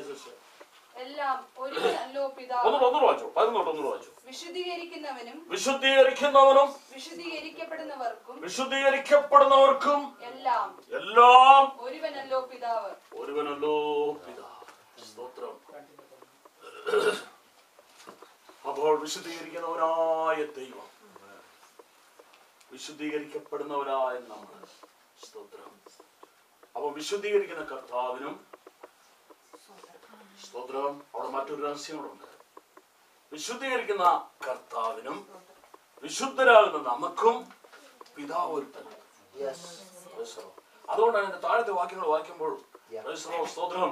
നമ്മൾ നമ്മളെ അവർ സഹോദരന്മാരെന്ന് പറയുന്നു. സ്തോത്രം. അപ്പൊ ഒരു കുടുംബം ഒരു വ്യക്തി ഒരു സ്തോത്രം. ആ ബന്ധം ഒരു Lord, സ്തോത്രം. അപ്പൊ ദൈവം നമുക്ക് ഫാദരി സ്തോത്രം. ഉറച്ചു വരണം. പ്രാഗൽഭ്യത്തോടെ വരണം. ഞാൻ വിശുദ്ധനാണ്.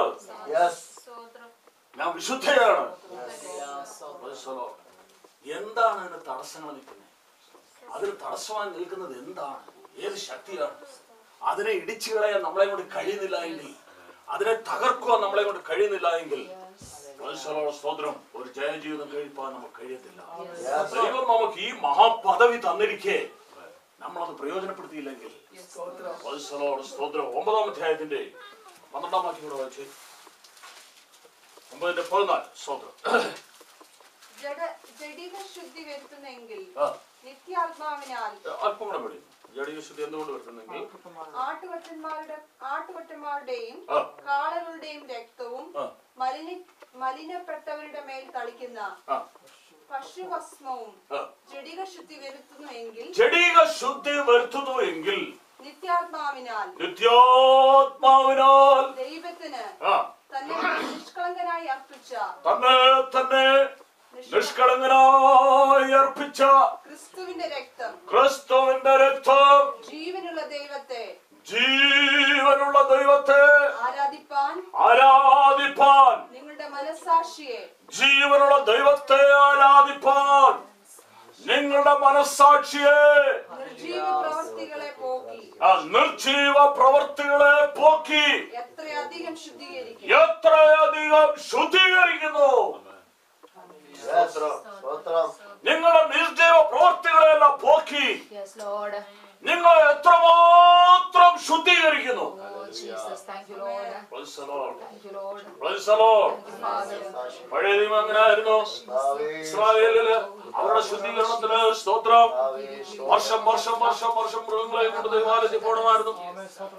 അതിനെ കൊണ്ട് അവിടെ അർപ്പിച്ചിട്ട് മഹാപുരോഹിതൻ അവിടെ യാഗത്തിനായിട്ട് അതിനെ അർപ്പിച്ചിട്ട് അവർ തിരിച്ചു പോരും.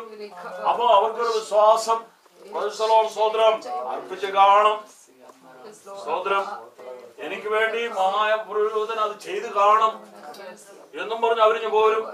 പക്ഷെ അവരുടെ മനസാക്ഷിയിൽ ഒരു ശുദ്ധീകരണവും നടക്കുന്നില്ല. അവർക്ക് അതുകൊണ്ട് യാഥാർത്ഥ്യമായ യാതൊരു പ്രയോജനവും ഉണ്ടാകുന്നുമില്ല. ഒമ്പതാം അധ്യായത്തിന്റെ ഒമ്പതാം വാക്യം തൊട്ട് വായിച്ച്. ആ കൂടാരം ഈ കാലത്തേക്ക് ഒരു സാദൃശ്യമത്രേ. അത്രേ അതിന് ഒത്തവണ്ണം ആരാധനക്കാരന് ആ. പൂർണ സമാധാനം മനസാക്ഷിയിൽ പൂർണ സമാധാനം വരുത്തുവാൻ വരുത്തുവാൻ കഴിയാത്ത വഴിപാടും. കഴിയാത്ത വഴിപാട്. അപ്പൊ ഇതെല്ലാം കൊണ്ട് അവിടെ ആലയത്തിൽ കൊണ്ട് കൊടുത്താലും ആരാധകന്റെ മനസ്സിൽ മനസാക്ഷിയിൽ പൂർണ സമാധാനം. വരുത്തുവാൻ കഴിയുന്നില്ല. അവന്റെ മനസാക്ഷിയിൽ ഒരു ശുദ്ധീകരണം വരുത്തുവാൻ അതുകൊണ്ട് കഴിയുന്നില്ല. അവൻ അതുകൊണ്ട് ഒരു തൃപ്തി വരുത്തുവാൻ കഴിയുന്നില്ല. എന്നാൽ അടുത്ത വാക്യം.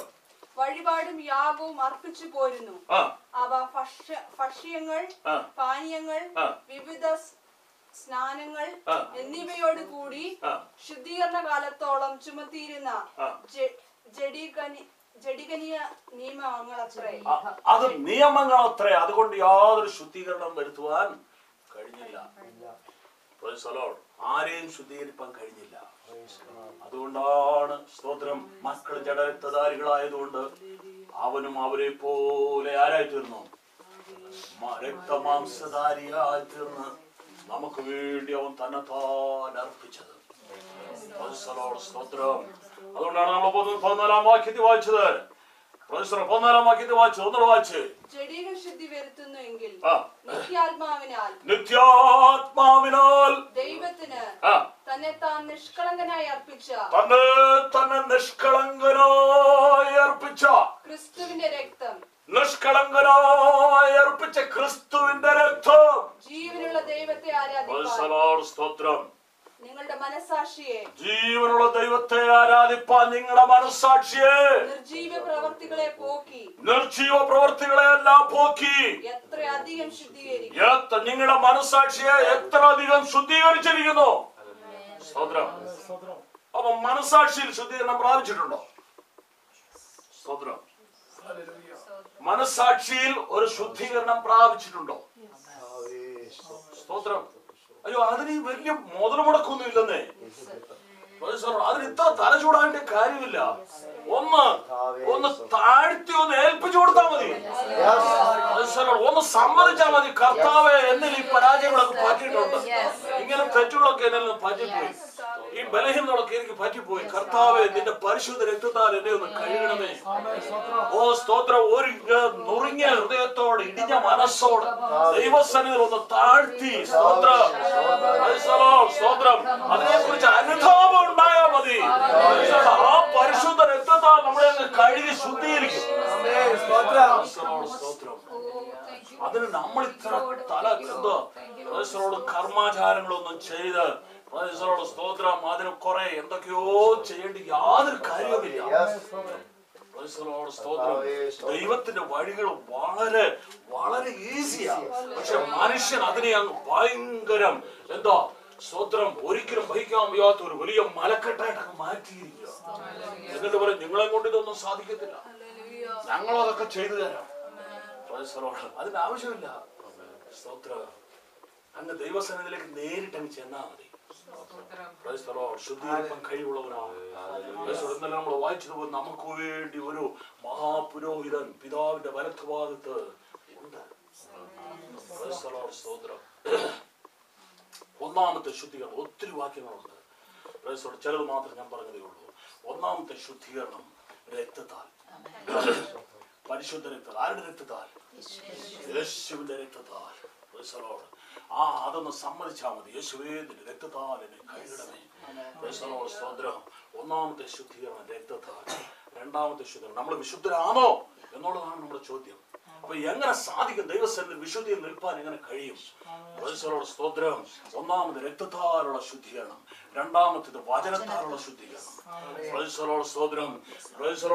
സുവിശേഷമോ? പതിനഞ്ചാമത്തെ അതിന്റെ മൂന്നാം വാക്യം വായിച്ചേ.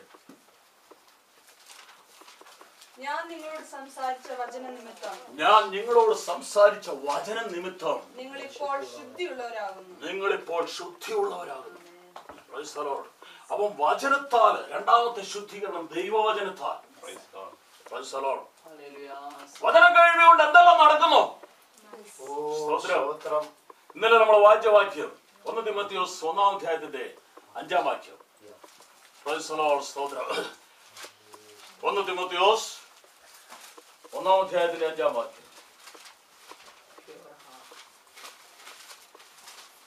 ആജ്ഞയുടെ ആ.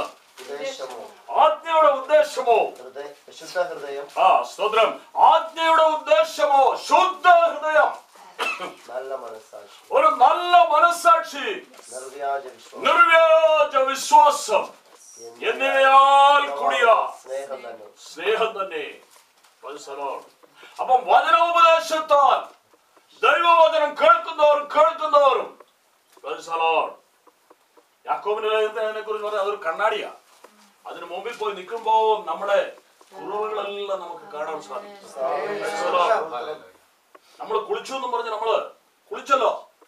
ഇനിയും കുഴപ്പമൊന്നുമില്ലെന്ന് പറഞ്ഞ് നമ്മൾ എങ്ങും ഓടി പോകുന്നില്ല ഓടിച്ചെന്ന് കണ്ണാടി ഒന്നുകൂടെ നോക്കും.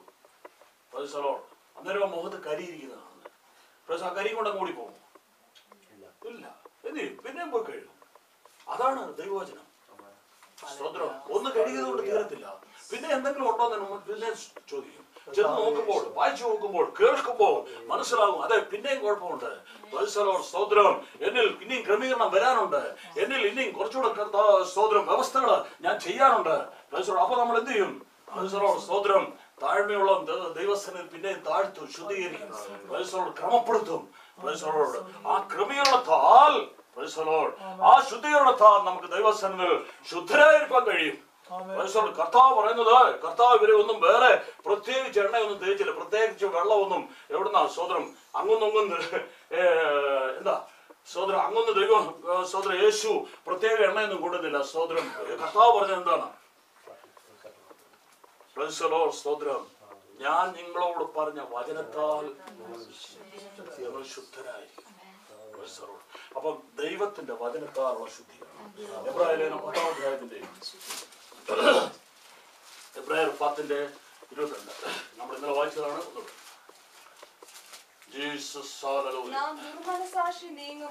ആ ദുർമനസാക്ഷി നീങ്ങുമാറ്. കാരണം അത് എല്ലാം ഇരിക്കുന്നേ അവിടെ ഡിപ്പോസിറ്റ് എല്ലാം ഇരിക്കുന്നേ അവിടെ എവിടെ? അകത്ത് ഹൃദയത്തിൽ മനസാക്ഷി അതുകൊണ്ട് കർത്താവ് പറഞ്ഞ് സ്തോത്ര ലൂക്കോ അസോസിയേഷൻ ഏഴാമത്തെ കർത്താവ് പറഞ്ഞ് എല്ലാം അവിടുന്ന് അങ്ങോട്ട് വെളിയിലോട്ട് വരുന്നത്. സ്തോത്രം. അവിടെ ഒന്നും രണ്ടുമല്ല പല സൈസുകൾ ഇരിപ്പുണ്ടോ.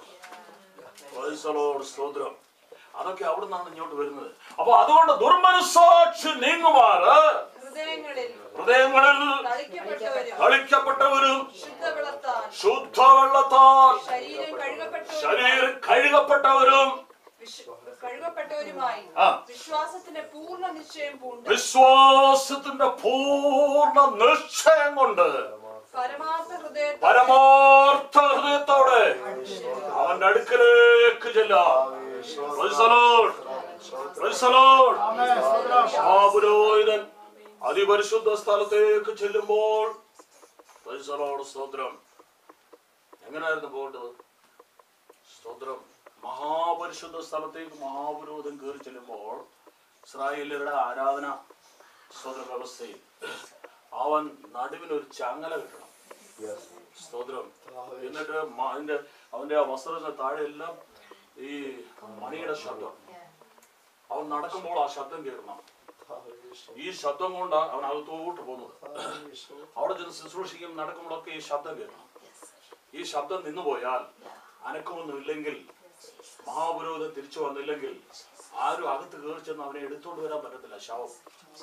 പ്രതിസ്ഥലോട് പിന്നെ ഈ നടുക്ക് കെട്ടിയിരുന്ന ആ ചങ്ങല പിടിച്ചു വലിച്ചു വേണം അവന്റെ ശവം വെല്ലെടുക്കാൻ വേറെ ആരും അകത്ത് ചെല്ലരുത്. അതായിരുന്നു ആ മഹാപരിശുദ്ധ സ്ഥലത്തിന്റെ വിശേഷത. പ്രതിസ്ഥലോട് അങ്ങനെയെങ്കിൽ പ്രതിസ്ഥലോട് സ്തോത്രം പ്രിയ ദൈവമക്കളെ ദൈവം നമ്മളെ ശുദ്ധീകരിക്കുന്ന പദ്ധതി ഒന്ന് ഓർത്തു നോക്കി. ഓ പ്രതിസലോ സ്തോത്രം. ന്യായപ്രമാണത്താൽ കഴിയാത്തതിനെ കർത്താവ് നമുക്ക് വേണ്ടി ചെയ്തു എന്നൊക്കെ പറയുമ്പോ പ്രതിസലോ സ്തോത്രം. ഈ ചങ്ങലയിട്ട് വലിച്ചു വേണം ഈ ശവം വെളിയിലെടുക്കാൻ പരിശുദ്ധ സ്ഥലത്ത് ചെല്ലുവാൻ അവന് യോഗ്യതയില്ലെങ്കിൽ അവൻ പോകാൻ പാടില്ല. പ്രൊഫസറോട് അവൻ പോകണമെങ്കിൽ അതിനു വേണ്ടി അവന് വേണ്ടി ആദ്യം മറ്റൊരു മൃഗം മൃഗത്തെ കൊല്ലണം. എന്നാൽ ഇവിടെ വായിക്കുന്നത് എങ്ങനെയാണ്? അതിനെ വായിക്കുന്നത് എങ്ങനെയാണ്? സോദരം ആ വാക്യം ഒന്നുകൂടെ നാം ദുർമനസാക്ഷി നീങ്ങുമാറ്. ഈ ദുർമനസാക്ഷി നീങ്ങുമാറ്. ഹൃദയങ്ങളിൽ തളിക്കപ്പെട്ടവരും ഹൃദയങ്ങളിൽ തളിക്കപ്പെട്ടവരും ശുദ്ധവെള്ളത്താൽ ശുദ്ധ വെള്ളത്താൽ ശരീരം കഴുകപ്പെട്ടവരുമായി ശരീരം കഴുകപ്പെട്ടവരുമായി വിശ്വാസത്തിന്റെ പൂർണ നിശ്ചയം പൂർണ ഇതൊക്കെ പറയുമ്പോൾ പുതിയ നിയമത്തിൽ കർത്താവ് ദൈവത്തിന്റെ ശക്തിയൊക്കെ കുറഞ്ഞു എന്നൊന്നും നമ്മൾ വിചാരിക്കാം മുപ്പത്തൊന്നാം വാക്യം വായിച്ച്. പത്തിന്റെ മുപ്പത്തൊന്ന്.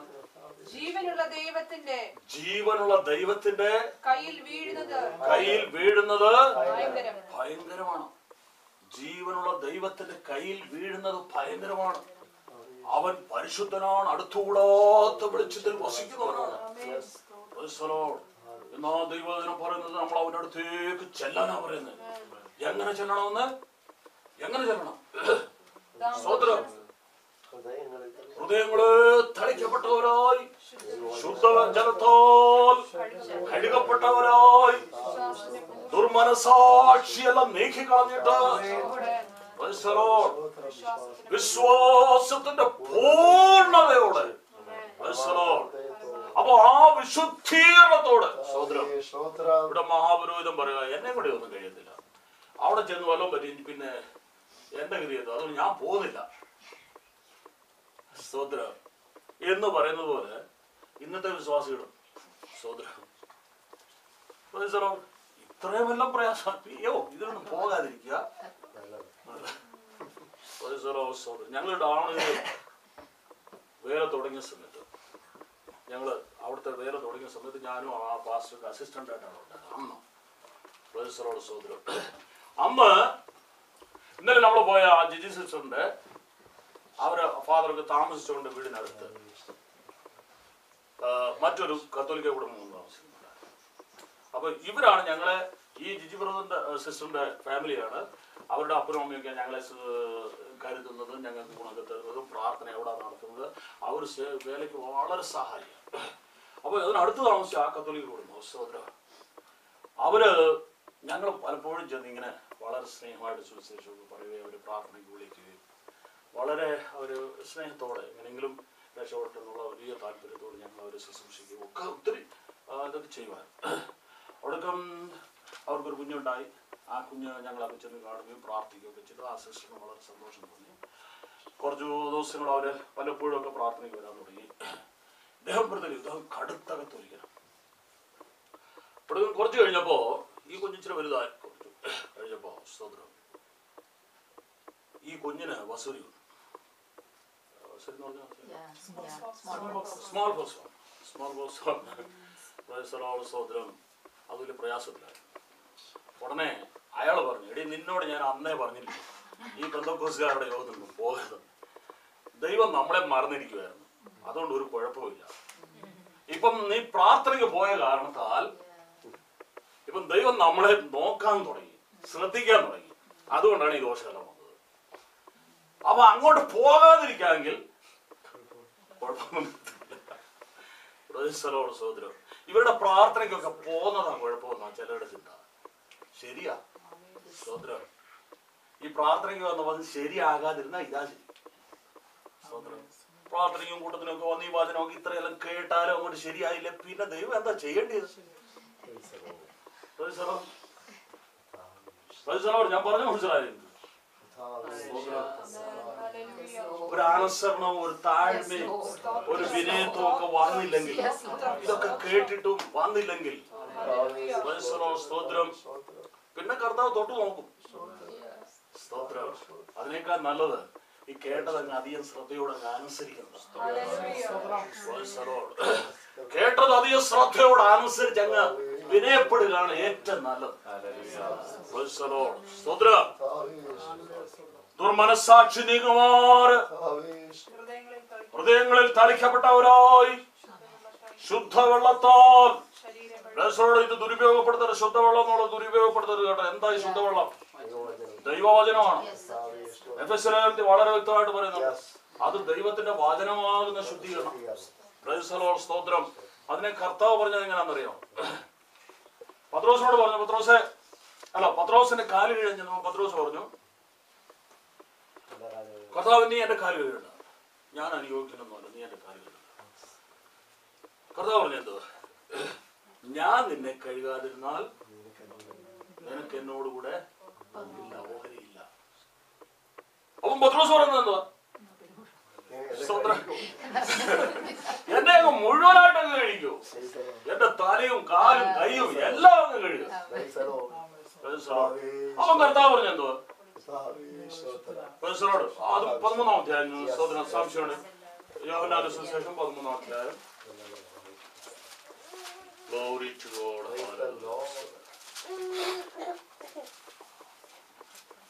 ഒമ്പതാം വാക്യം മുതൽ. യോഹന്നാൻ പതിമൂന്നിന്റെ ഒമ്പത് കർത്താവേ എന്റെ കാൽ മാത്രമല്ല എന്റെ കാൽ മാത്രമല്ല കൈയും തലയും എന്ന് മൊത്തമായി അങ്ങ് കഴുകണമേ എന്ന് പത്രോസ് പറഞ്ഞു.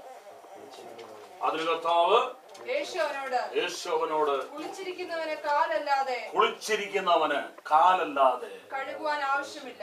കഴുകുവാൻ ആവശ്യമില്ല. അവൻ മുഴുവൻ ശുദ്ധിയുള്ളവൻ. അവൻ മുഴുവൻ ശുദ്ധിയുള്ളവൻ.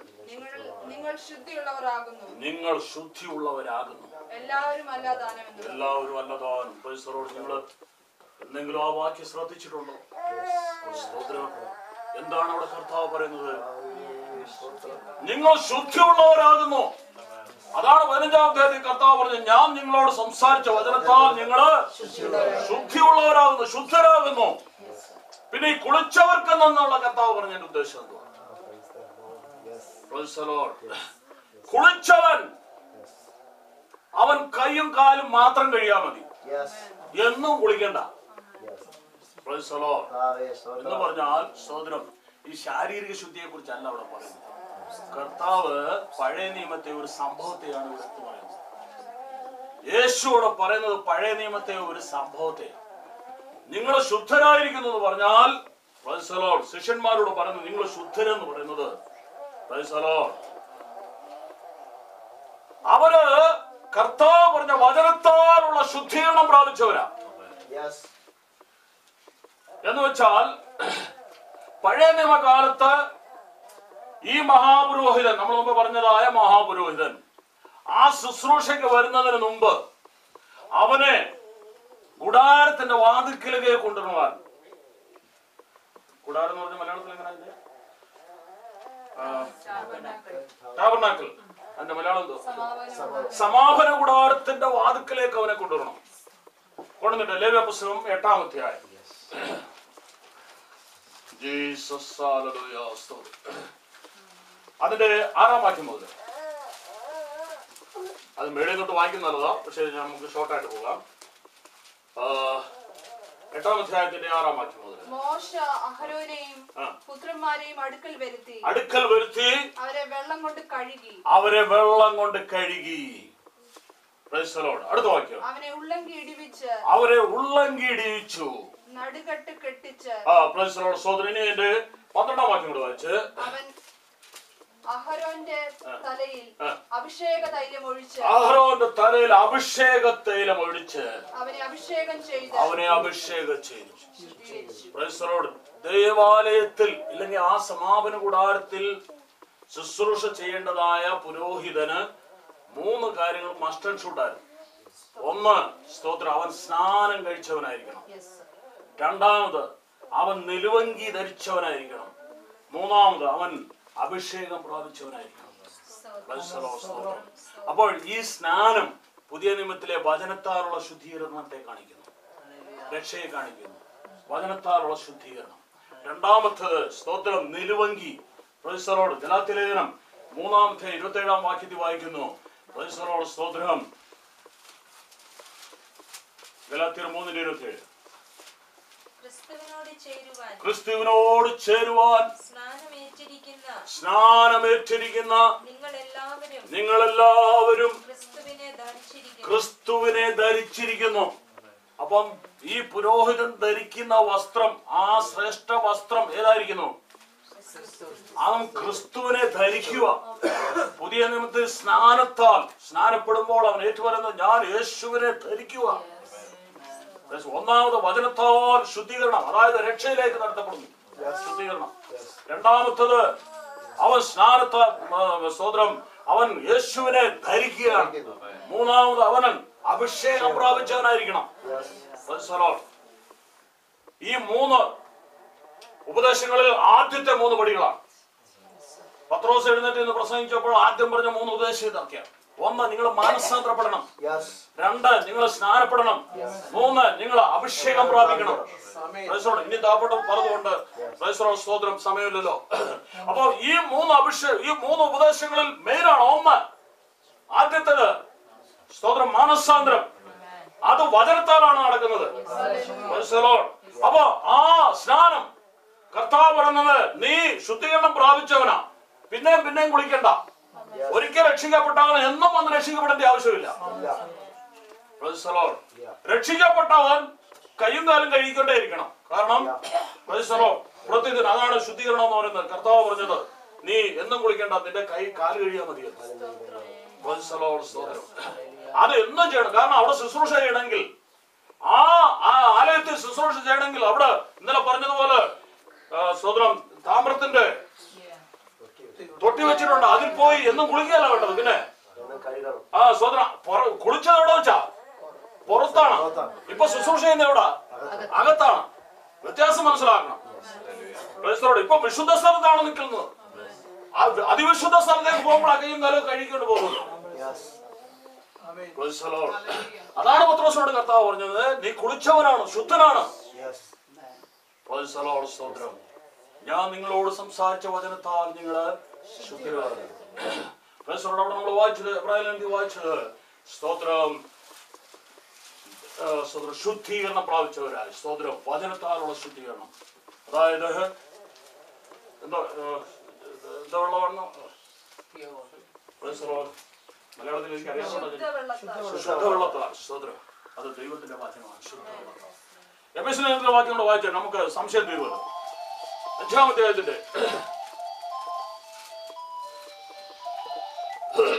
എഫേസിൽ അഞ്ചിന്റെ ഇരുപത്തി Glory to God. ചുളുക്കം. മുതലായവ ഒന്നുമില്ലാത്ത സഭയെ ശുദ്ധിയും നിഷ്കളങ്കമായി തനിക്ക് തന്നെ തേജസ്സോടെ ആ. മുൻനിർത്തേണ്ടതിനും ആ. തന്നെത്താൻ അവൾക്ക് വേണ്ടി ഏൽപ്പിച്ചു കൊടുത്തു ഏൽപ്പിച്ചു കൊടുത്തു ഒന്നാമത്തെ സ്വതന്ത്രം ഇരുപത്തേഴാം വാക്യം ഒന്ന് വായിച്ച് കറ ചുളുക്കം. മുതലായതൊന്നുമില്ലാതെ അവൻ അവളെ. വചനത്തോടു കൂടിയ വചനത്തോട് കൂടിയ ജലസ്നാനം. ജലസ്നാനത്താൽ. എന്നോട് ഇരുപത്തേഴ് അതുകൊണ്ടാണ് ഞാൻ ഇരുപത്തേഴ് പറഞ്ഞത് വചനത്തോട് കൂടിയ ജലസ്നാനം. അപ്പം ജലസ്നാനം എന്ന് പറയുന്നത് വചനമാണ്. അപ്പൊ ഒന്നാമത്തെ ശുദ്ധീകരണം. ഇവിടെ ശ്രദ്ധിക്കണം കേട്ടോ. ഇതെല്ലാം നമ്മുടെ ജീവിതത്തിൽ നമ്മൾ എന്താ ക്രമീകരിച്ചെങ്കിൽ മാത്രമേ അല്ല അഡപ്റ്റ് ചെയ്തെങ്കിൽ മാത്രമേ നമുക്കൊരു വിശുദ്ധിയിൽ ജീവിക്കാൻ കഴിയത്തുള്ളൂ. സ്തോത്രം. അഡപ്റ്റ് എന്നുള്ളതിന്റെ എന്താ അല്ല നമ്മൾ ഇതൊക്കെ ഒന്ന് പ്രായോഗികമാക്കിയെങ്കിൽ മാത്രമേ നമുക്ക് വിശുദ്ധിയിൽ ജീവിക്കാൻ കഴിയത്തുള്ളൂ. ഒന്നാമതായി രക്തത്താലുള്ള ശുദ്ധീകരണം. രണ്ടാമതായി വചനത്താലുള്ള ശുദ്ധീകരണം. വചനം നമ്മളെ ശുദ്ധീകരിക്കണം കേൾക്കും തോറും. ഞാൻ നമ്മൾ തിമോത്യോസിലെ വായിച്ച് വായിക്കും ഒരിക്കലും മറക്കരുത്. സ്തോത്രം ഞാൻ ഇന്നലെ പറഞ്ഞല്ലോ അത് ആജ്ഞയല്ല. ആജ്ഞയെന്നല്ല നമ്മൾ വായിക്കേണ്ടത്. പിന്നെ വചനോപദേശത്തിന്റെ ഉദ്ദേശമോ? ദൈവവചനോപദേശത്തിന്റെ ഉദ്ദേശമോ? ശുദ്ധ ഹൃദയം പിന്നെ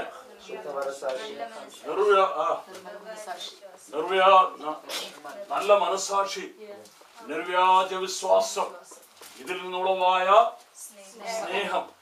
അപ്പൊ ഇതൊക്കെ ഉണ്ടാകുന്ന ദൈവവചനത്തിൽ നിന്നാണ് സ്തോത്രം. നമ്മളെ ശുദ്ധീകരിക്കുന്നത് ഒന്നാമതായി നമ്മളെ ശുദ്ധീകരിക്കുന്നത് യേശുവിന്റെ രക്തം. രണ്ടാമത് ദൈവത്തിന്റെ വചനം. മൂന്നാമത് നമ്മുടെ ശുദ്ധീകരണത്തിനായി ദൈവം വെച്ചിരിക്കുന്ന വ്യവസ്ഥ. സ്തോത്രം. ഒന്ന് വരുന്ന ആറാം അധ്യായത്തിന്റെ പതിനൊന്നാം വാക്യം. ഒന്ന് വരുന്ന ആറാം അധ്യായത്തിന്റെ പതിനൊന്നാം വാക്യം. നിങ്ങളും ചിലർ ഈ വകക്കാരായിരുന്നു. ആ നിങ്ങളും ചിലർ ഈ മേളിൽ വായിച്ചു. നമ്മൾ ആരൊക്കെയായിരുന്നു? സ്തോത്രം. ഇപ്പം നമ്മളെല്ലാവരും അങ്ങനെ ആയിരിക്കണമെന്നില്ല. അതിൽ ചിലതെങ്കിലും. ദുർനടപ്പുകാർ വിഗ്രഹരാധികൾ വ്യഭിചാരികൾ സ്വയഭോഗികൾ പുരുഷ- പുരുഷകാമികൾ കള്ളന്മാർ. അത്യാഗ്രഹികൾ. മദ്യപാന്മാർ വാവിഷ്ണക്കാർ. പിടിച്ചുപറിക്കാർ എന്നിവർ ദൈവരാജ്യം അവകാശമാക്കി എന്നിവർ ദൈവരാജ്യം അവകാശമാക്കിയില്ല അടുത്തത് നിങ്ങളും ചിലർ നിങ്ങളും ചിലര് ഈ വകക്കാരായിരുന്നു ഈ വകക്കാരായിരുന്നു എങ്കിലും നാമത്തിലും നിങ്ങൾ കർത്താവായ യേശു ക്രിസ്തുവിന്റെ നാമത്തിലും നമ്മുടെ ദൈവത്തിന്റെ ആത്മാവിനാലും നമ്മുടെ ദൈവത്തിന്റെ ആത്മാവിനാലും നിങ്ങളെ തന്നെ കഴുകി നിങ്ങളെ തന്നെ കഴുകി ശുദ്ധീകരണവും ശുദ്ധീകരണവും നീതീകരണവും. നീതീകരണവും പ്രാപിച്ചു. ഇവിടെ ഒന്നാമത്തത് യേശുവിന്റെ നാമത്തിൽ നമ്മളെ ശുദ്ധീകരിക്കുന്ന യേശുവിന്റെ നാമമാണ്. എല്ലാ മുഴങ്കാലും മടങ്ങിടുന്ന യേശുവിന്റെ നാമം. എല്ലാ ശക്തികളും സ്തോത്രം.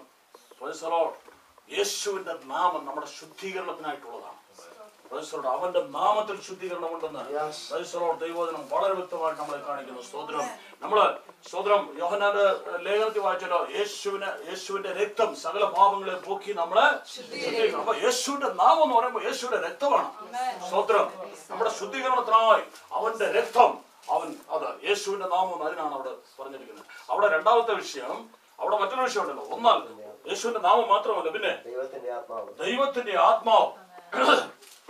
നമ്മളെ ശുദ്ധീകരിക്കുന്ന മറ്റൊന്നാണ് ദൈവത്തിന്റെ ആത്മാവ്. സ്തോത്രം. യേശുവിന്റെ രക്തം പിന്നെ ദൈവത്തിന്റെ വചനം ദൈവത്തിന്റെ ആത്മാവ്. ദൈവത്തിന്റെ ആത്മാവിന് നമ്മളെ തന്നെ ഏൽപ്പിച്ചു കൊടുക്കുമ്പോൾ സ്തോത്രം. അത് നമ്മുടെ ശുദ്ധീകരണത്തിനുള്ള കാര്യങ്ങളൊക്കെ അങ്ങ് ചെയ്തോളും. കാരണം കർത്താവ് പറഞ്ഞ എന്തുവാ? സ്തോത്രം. ഞാൻ പോയിട്ട് നിങ്ങൾക്ക് അല്ലല്ല സ്ഥലം സ്തോത്രം. പരിശുദ്ധാത്മ വേറൊരു സഹായകനെ അയച്ചു തരും. സ്തോത്രം. ആ സഹായം വന്നിട്ട് എന്ത് ചെയ്യും? വായിച്ചേ? പതിനാറാം അധ്യായത്തിൽ എട്ടാം വാക്യം. യോഹന്നാൻ പതിനാറിന് എട്ട്. To God. യോഹന്നാൻ പതിനാറിന്റെ അവൻ വന്ന് പാപത്തെ കുറിച്ചും പാപത്തെ കുറിച്ചും നീതിയെ കുറിച്ചും ന്യായവിധിയെ കുറിച്ചും ലോകത്തിന് ബോധം വരുത്തു. അപ്പോൾ നമ്മുടെ ശുദ്ധീകരണത്തിനായിട്ടാണ് ദൈവം പരിശുദ്ധാത്മാവിനെ തന്നിരിക്കുന്നത്. ഈ പരിശുദ്ധാത്മാവ് എന്ന് പറഞ്ഞ ഒരു ദൈവദാസം പറഞ്ഞോണക്ക് അത് മൾട്ടിപർപ്പസാ ഒരു കാര്യമല്ല അതുകൊണ്ട് ചെയ്തത്. പരിശുദ്ധാത്മാവ് ചെയ്തത്. സ്തോത്രം. ഇവിടെ പരിശുദ്ധാത്മാവിന്റെ പണി. സോ നമ്മുടെ ശുദ്ധീകരണം. സ്തോത്രം. എങ്ങനെയാണ് പരിശുദ്ധാത്മാവ് നമ്മളെ ശുദ്ധീകരിക്കുന്നത്? സ്തോത്രം. പരിശുദ്ധാത്മാവ് നമുക്ക് പാപത്തെ കുറിച്ചുള്ള ബോധം വരുത്തും സ്തോത്രം ബോധം ശരിയാ അതോ ബോധം? ബോധം. പരിശുദ്ധാത്മാവ് നമുക്ക് പാപത്തെ കുറിച്ചുള്ള ബോധം വരുത്തും സ്തോത്രം എന്താണ് പാപം സ്തോത്രം ഞാൻ ചെയ്യേണ്ടത് എന്താ ചെയ്യാത്തത് എന്താ നമ്മളെ ഓർപ്പിക്കും. സ്തോത്രം പ്രാർത്ഥിക്കാൻ ഇരുന്നാൽ മതി. പ്രാർത്ഥിക്കാൻ നമ്മളെ സഹായിക്കുന്നത് ആരാണ് പോയി വേണ്ടവണ്ണം പ്രാർത്ഥിപ്പാൻ നമ്മൾ അറിയാത്തവരായതുകൊണ്ട് വേണ്ടവണ്ണം പ്രാർത്ഥിപ്പാൻ നമ്മൾ അറിയാത്തവരായതുകൊണ്ട് സ്തോത്രം. അതിന്റെ എട്ടാം അധ്യായത്തിന്റെ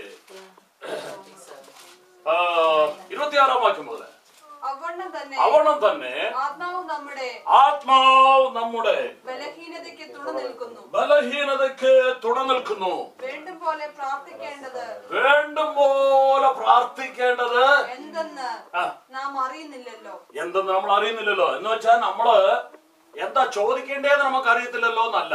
കാരണം ചോദിക്കേണ്ടത് എന്താന്നൊക്കെ നമുക്കറിയാം.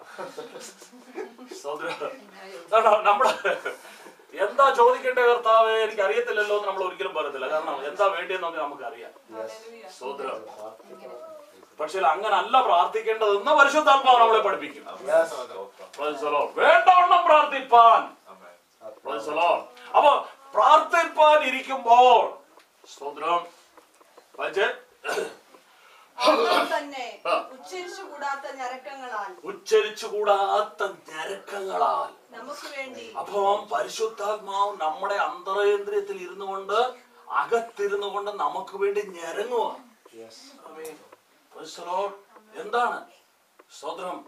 അവിടെ നമ്മളെ ഒന്ന് സ്തോത്ര ഒന്ന് മനസ്സിലാക്കി തരുവാൻ. Yes. നമ്മുടെ കുറവുകളെ ഒന്ന് മനസ്സിലാക്കി തരുവാൻ പരിശുദ്ധാത്മാവ് അകത്തിരുന്ന് ഞരങ്ങുക. അത് നമ്മ അങ്ങോട്ട് മനസ്സിലാക്കി സമ്മതിച്ച് ഏറ്റുപറഞ്ഞു കഴിയുമ്പോൾ ശുദ്ധീകരണം അവിടെ. അത് പല പ്രാവശ്യം ഞരങ്ങിയിട്ടും പറഞ്ഞിട്ടും കേൾക്കാതിരുന്നാൽ പിന്നെ അതങ്ങ് സൈലന്റാ പിന്നെ പറയത്തില്ല അതങ്ങ് സൈലന്റ് ആയിപ്പോ പോകും. പിന്നീട് അവനെയാണ് ജഡീകരൻ എന്ന് വിളിക്കുന്നത്. ദൈവോധനം ജഡീകരൻ എന്നൊക്കെ പറയുന്നത്. അവനെല്ലാം അറിയാം പക്ഷേ ബാറ്ററി തീർന്നു. സ്തോത്രം. ബാറ്ററി തീർന്നു സ്തോത്രം. Lord. പിന്നെ എവിടുന്ന് റിങ് വന്നാലും ആരെല്ലാം വിളിച്ചാലും ഒന്നും മനസ്സിലാവില്ല. പിന്നെ ഉണ്ട് ഉണ്ട്. വിശ്വാസിയാണ് ആ അവസ്ഥ നമുക്ക്. പരിശുദ്ധാത്മാവിനെ ദൈവം നമുക്ക് തന്നത് നമ്മുടെ ശുദ്ധീകരണത്തോടാണ്. എങ്ങനെയാണ് പരിശുദ്ധാത്മ നമ്മളെ ശുദ്ധീകരിക്കുന്നത്? ഇരിക്കുമ്പോൾ സ്തോത്രം. നമ്മൾ സ്വതന്ത്രം പ്രാർത്ഥിക്കാൻ ആവശ്യങ്ങളുടെ വലിയ ലിസ്റ്റുമായിട്ടല്ല വരണ്ടേ പരിശുദ്ധാത്മാവിനെ ഏൽപ്പിച്ചു കൊടുക്കണം. എനിക്ക് എന്ത് വേണ്ടെന്ന് ഞാൻ അറിയുന്നതിനെക്കാട്ടി കൂടുതൽ എനിക്ക് എന്ത് വേണമെന്ന്. നമുക്ക് എന്താ വേണ്ടെന്ന് നമുക്ക് ശരിക്കും അറിഞ്ഞുകൂടാ. എന്നാൽ പരിശുദ്ധാത്മാവിന് അറിയാം ദൈവത്തിന് അറിയാം നമുക്ക് എന്താ വേണ്ടിയത് അങ്ങനെയെങ്കിൽ അതിനല്ല പ്രാധാന്യം കൊടുക്കേണ്ടത്. സ്തോത്രം. നമ്മുടെ ശുദ്ധീകരണത്തിന് വേണ്ടത് ആദ്യം നടക്കണം. എന്ത് ചെയ്യും പരിശുദ്ധാത്മാവ്? വായിച്ചു അത് തന്നെ എട്ടാം അധ്യായത്തിൽ നമ്മൾ കണ്ട- വായിച്ച വാക്യം. അവൻ പാപത്തെക്കുറിച്ചും നീതി അല്ലല്ല. റോമർ എട്ടിന്റെ ഇരുപത്തി ആറ് അവൻ തന്നെ. ആത്മാവ് നമ്മുടെ ആത്മാവ് നമ്മുടെ ബലഹീനതയ്ക്ക് തുണ നിൽക്കുന്നു. ബലഹീനതയ്ക്ക് തുണ നിൽക്കുന്നു. വേണ്ടും പോലെ വേണ്ടും പോലെ പ്രാർത്ഥിക്കേണ്ടത് പ്രാർത്ഥിക്കേണ്ടത് എന്തെന്ന് നാം അറിയുന്നില്ലല്ലോ. നാം അറിയുന്നില്ലല്ലോ. ആത്മാവ് തന്നെ ആത്മാവ് തന്നെ ഉച്ചരിച്ചുകൂടാത്ത ഞരക്കങ്ങളാൽ ഉച്ചരിച്ചുകൂടാത്ത ഞരക്കങ്ങളാൽ നമുക്ക് വേണ്ടി പക്ഷപാതം ചെയ്യുക. പരിശുദ്ധാത്മാവ് നമുക്ക് വേണ്ടി പക്ഷപാതം ചെയ്യുക. ഈ പരിശുദ്ധാത്മാവ് നിന്നെ പ്രാർത്ഥനയിൽ സഹായിക്കുന്നു. സ്തോത്രം. പാപത്തെ കുറിച്ച് നിന്റെ തെറ്റുകളെ കുറിച്ച് ജീവിതത്തിലെ പരാജയങ്ങളെ കുറിച്ച് നമുക്ക് അറിവുണ്ടാക്കി തരുന്നു. അത് ഏറ്റു പറഞ്ഞു വിടുതൽ സൗഖ്യം. ശുദ്ധീകരണം. സ്തോത്രം. ഒന്ന് പരിശുദ്ധാത്മാവിന്റെ ആദ്യത്തെ പടി പാപത്തെ കുറിച്ച് രണ്ടാമത് യോഹനാന്റെ സുവിശേഷം. രണ്ടാമത്തെ വിഷയം പാപത്തെ നീതിയെ കുറിച്ച് അപ്പൊ ഇന്നലെ കേട്ട ആ നീതിയെ കുറിച്ച് ഒരു ശരിയ ശരിയായ അറിവ്. ഒരു സ്വലോ ഒരു ശരിയായ എന്തോ അറിവ് തന്നെ. എന്ന് വിചാരിച്ച അറിവ് നമുക്ക് തരുന്നത് ആരാണ്? പരിശുദ്ധാത്മാവ്. എന്നാൽ നമ്മൾ ലാസ്റ്റ് വായിച്ച് വായിച്ച് നിർത്തിയ വാക്യം ഏതോ നോക്കുന്നുണ്ടോ നമ്മൾ അവസാനം വായിച്ച് നിർത്തിയ വചനം. ലൂക്കോസ് പതിനാറ് ആ, അല്ലല്ല അതൊരു സംഭവം പറഞ്ഞത്. പക്ഷെ നമ്മുടെ വിഷയത്തോടുള്ള ബന്ധത്തിൽ നമ്മൾ പറഞ്ഞത് യോഹന്നാൻ മൂന്നാം അധ്യായ ഒന്ന് യോഹന്നാൻ മൂന്നാമധ്യായത്തിന്റെ യെസ് ട്വന്റി ഫോർ അവന്റെ കൽപ്പനകളെ പ്രമാണിക്കുന്നവനെല്ലാം. അവനിലും അവൻ ഇവനിലും വസിക്കുന്നു. അവൻ നമ്മിൽ വസിക്കുന്നു എന്ന് നാം അവൻ നമുക്ക് തന്നെ അവൻ നമ്മളിൽ വസിക്കുന്നു എന്ന് അവൻ നമുക്ക് തന്ന ആത്മാവിനാൽ ആത്മാവിനാൽ നാം അറിയുന്നു. അപ്പൊ ആ ആത്മാവ് നമ്മളിൽ ഇരുന്നുകൊണ്ട് നമ്മളോട് സാക്ഷി പറയും. നീ നീതിമാനാണ്. സ്തോത്രം. അല്ലെങ്കിൽ പറയാം നീ പാപിയാണ്. Lord. അപ്പൊ ആ ആത്മാവ് നമ്മളോട് സംസാരിക്കും. ശരി പാപിയാന്ന് പറഞ്ഞാലോ? നീ പാപിയാന്ന് പറഞ്ഞ ഉടനെ അന്നാ ഇനി ജീവിക്കുന്നില്ലെന്ന് പറഞ്ഞ് കയറും എടുത്തോണ്ട് ഓടുന്നുണ്ട്. പിന്നെന്ത് ചെയ്യണം? അങ്ങ് ഏറ്റുപറഞ്ഞ് ഉപേക്ഷിച്ചാൽ മതി അങ്ങ് വിട്ടുകളഞ്ഞാൽ മതി. പഴയ നിയമത്തിൽ എന്നെ ദുഃഖിപ്പിച്ചതായ ഒരു വിഷയമുണ്ട് സ്തോത്രം. ശമുവേൽ ബാലന് ദർശനം കിട്ടി. ദർശനം കിട്ടിയപ്പോ എനിക്ക് മനസ്സിലായി ഇവന് ഏതാണ്ട് വെളിപ്പാടൊക്കെ കിട്ടിയിട്ടുണ്ടെന്നുള്ളത് രാവിലെ എഴുന്നേറ്റ് ചെറുക്കനെ വിളിച്ചു പറഞ്ഞു മോനെ ദൈവം നിന്നോട് എന്തെല്ലാം പറഞ്ഞിട്ടുണ്ടോ അതെല്ലാം എന്നോട് പറഞ്ഞു തരും അപ്പം ഷമുവേൽ പാലം പേടിച്ചു പോയി. ഇതെല്ലാം പറയാൻ പോയാൽ എനിക്ക് ഇഷ്ടപ്പെടുന്നില്ല പറഞ്ഞ കാരണം ദൈവം പറഞ്ഞിരിക്കുന്ന വിഷയങ്ങൾ വളരെ സീരിയസ് ആയ വിഷയം എന്തൊക്കെയാ പറഞ്ഞ അറിയാമല്ലോ നിങ്ങൾക്ക് നിങ്ങളൊന്ന് സമ്മതിക്കുക ഞാൻ. സ്തോത്രം അപ്പോ ഷമേൽ പോലും നിവൃത്തിയില്ലാതെ എല്ലാം പറഞ്ഞു പറഞ്ഞു കഴിഞ്ഞപ്പോ ഏലി പറഞ്ഞ ഒരു വാക്ക് എന്താണ് ഏലി പറഞ്ഞ അല്ലല്ല അതിനു മുമ്പ് അവൻ ദൈവമല്ലോ. തനിക്ക് ബോധിച്ചതുപോലെ. അങ്ങനല്ലേ.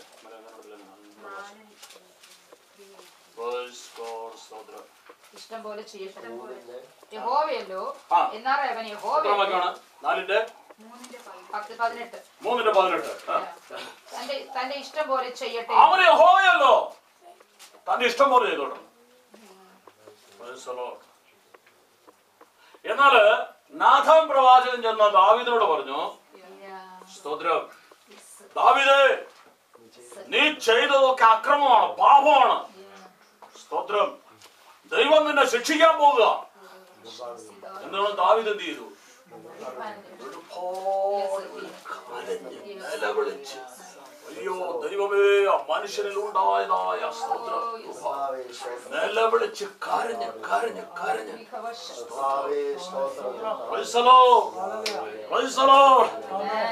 ഇസക്കിയാവിനോട് ഏഷ്യാവ് എന്ന് പറഞ്ഞു. സ്തോത്രം നിന്റെ ആയുഷ് തീർന്നു. നീ സ്തോത്രം നീ മരിക്കുക. സ്തോത്രം വീട്ടുകാര്യങ്ങളൊക്കെ ക്രമപ്പെടുത്തിക്കോളാം. ദൈവമല്ലേ? പറഞ്ഞോൽ ആയിക്കോട്ടെ. എന്തുവരും ചെയ്തോട്ടെ? Lord.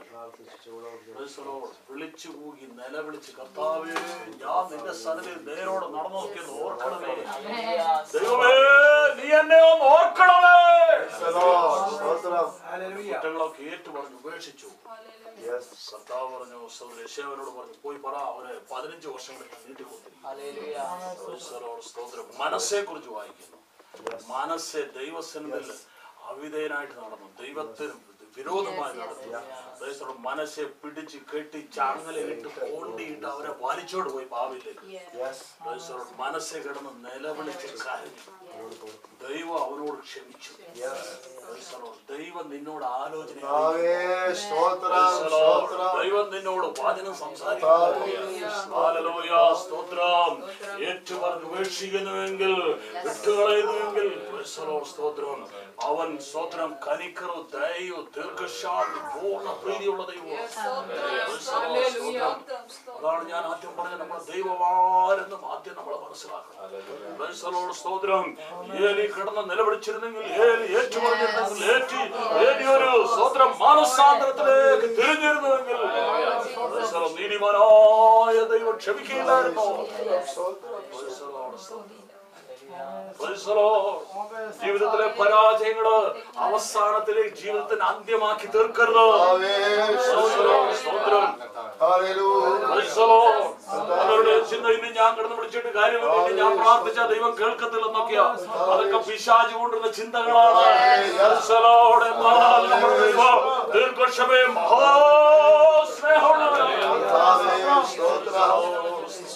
കർത്താവേ, സ്തോത്രം. ഹല്ലേലൂയ. കർത്താവേ, സ്തോത്രം. കർത്താവേ, സ്തോത്രം. പരിശുദ്ധാത്മാവ് നമ്മളെ ശുദ്ധീകരണം. പാപത്തെ കുറിച്ചും നീതിയെ കുറിച്ചും ഓ ഇത്രയും അവസരങ്ങൾ നിനക്ക് തന്നിട്ടും നീ മാനസാന്തരപ്പെടുന്നില്ലെങ്കിൽ നിനക്കൊരു ന്യായവിധി ഉണ്ടെന്നുള്ളത് പരിശുദ്ധാത്മാവ് മനുഷ്യനെ ഓർപ്പിക്കുന്നു പാപത്തെ കുറിച്ച് അടുത്തത്. നീതിയെ കുറിച്ച് ന്യായവിധിയെ കുറിച്ച് അവൻ നമുക്ക് ബോധം വരുത്തുന്നു. സ്തോത്രം ദൈവത്തിന്റെ പരിശുദ്ധാത്മാവ് ആവശ്യത്തിൽ നമ്മളെ സഹായിക്കുന്നതാണ്. ആത്മാവ് നമ്മളെ സഹായിക്കുന്നു സ്തോത്രം.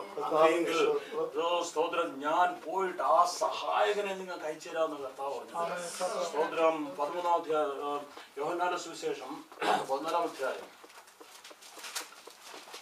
Glory to God.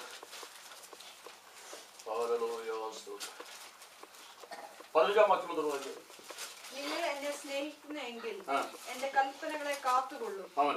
എന്നാൽ ഞാൻ പിതാവിനോട് ചോദിക്കും. ഞാൻ പിതാവിനോട് ചോദിക്കും. അവൻ സത്യത്തിന്റെ ആത്മാവെന്ന ആ സത്യത്തിന്റെ ആത്മാവെന്ന മറ്റൊരു കാര്യസ്ഥനെ. മറ്റൊരു കാര്യസ്ഥനെ എന്നേക്കും നിങ്ങളോട് കൂടി എന്നേക്കും നിങ്ങളോട് കൂടി ഇരിക്കേണ്ടതിന് നിങ്ങൾക്ക് തരും.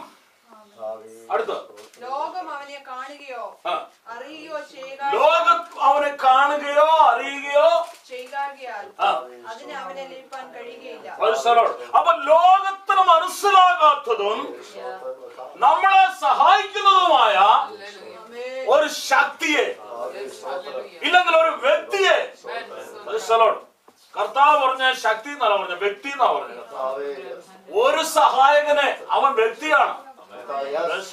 അതേസമയം അവൻ ശക്തിയാണ്. നമ്മളെ സഹായിക്കാനായിട്ടാണ് കർത്താവ് തന്നത്. ഇന്ന് അനേക വിശ്വാസികളുടെയും സഭകളുടെയും ഒക്കെ പോക്ക് അദ്ദേഹത്തെ മാറ്റി നിർത്തിയേച്ച. നിന്റെ സഹായം ഒന്നും ഞങ്ങൾക്ക് വേണ്ട. ഞങ്ങളുടെ ഇഷ്ടത്തിന് ഞങ്ങൾ അങ്ങ് പോക്കോളാം. അതിന്റെ ഫലം എന്തായിരിക്കും? ആക്സിഡന്റ് അതിന്റെ ഫലം ആക്സിഡന്റ് ആ സഹായകൻ കൂടെ ഉണ്ടെങ്കിൽ ഭയപ്പെടേണ്ട. എത്തേണ്ടിയിട്ട് നമ്മളെ എത്തിക്കും. നമ്മൾ എത്തേണ്ടിടത്ത് നമ്മളെ എത്തിക്കുന്നതാണ് സഹായം പകൽക്കാലം കേട്ടത് ആവശ്യങ്ങളുണ്ട് ഒരു പ്രാവശ്യം നമുക്ക് ചിന്തിക്കാം. തീർന്നില്ല ഇനിയും ചില വിഷയങ്ങളുണ്ട്. ദൈവം അനുസരിച്ചാൽ നമുക്ക് അടുത്ത സെഷനിൽ അത് ചിന്തിക്കാം. ഒന്നാമത്തെ നമ്മുടെ സ്വതന്ത്ര ശുദ്ധീകരണത്തിന്റെ ദൈവത്തിന്റെ വ്യവസ്ഥ. ഒന്ന് പറയൂ എന്താണ് ഒന്നാമത്തെ? നമ്മൾ ചിന്തിച്ചതായ ഒന്ന് യേശുവിന്റെ രക്തത്താലുള്ള ശുദ്ധീകരണം. രണ്ട് വചനത്താലുള്ള ശുദ്ധീകരണം. മൂന്ന് ആത്മാവിനാലുള്ള ശുദ്ധീകരണം. Lord. സ്തോത്രം. യുവജനങ്ങൾ അധികം അനുഗ്രഹിക്കട്ടെ. പ്രാർത്ഥനയോട് പിന്നെ ആയിരിക്കാം ദൈവം പിന്നെ നമ്മളോട് സംസാരിക്കട്ടെ. സ്തോത്രം.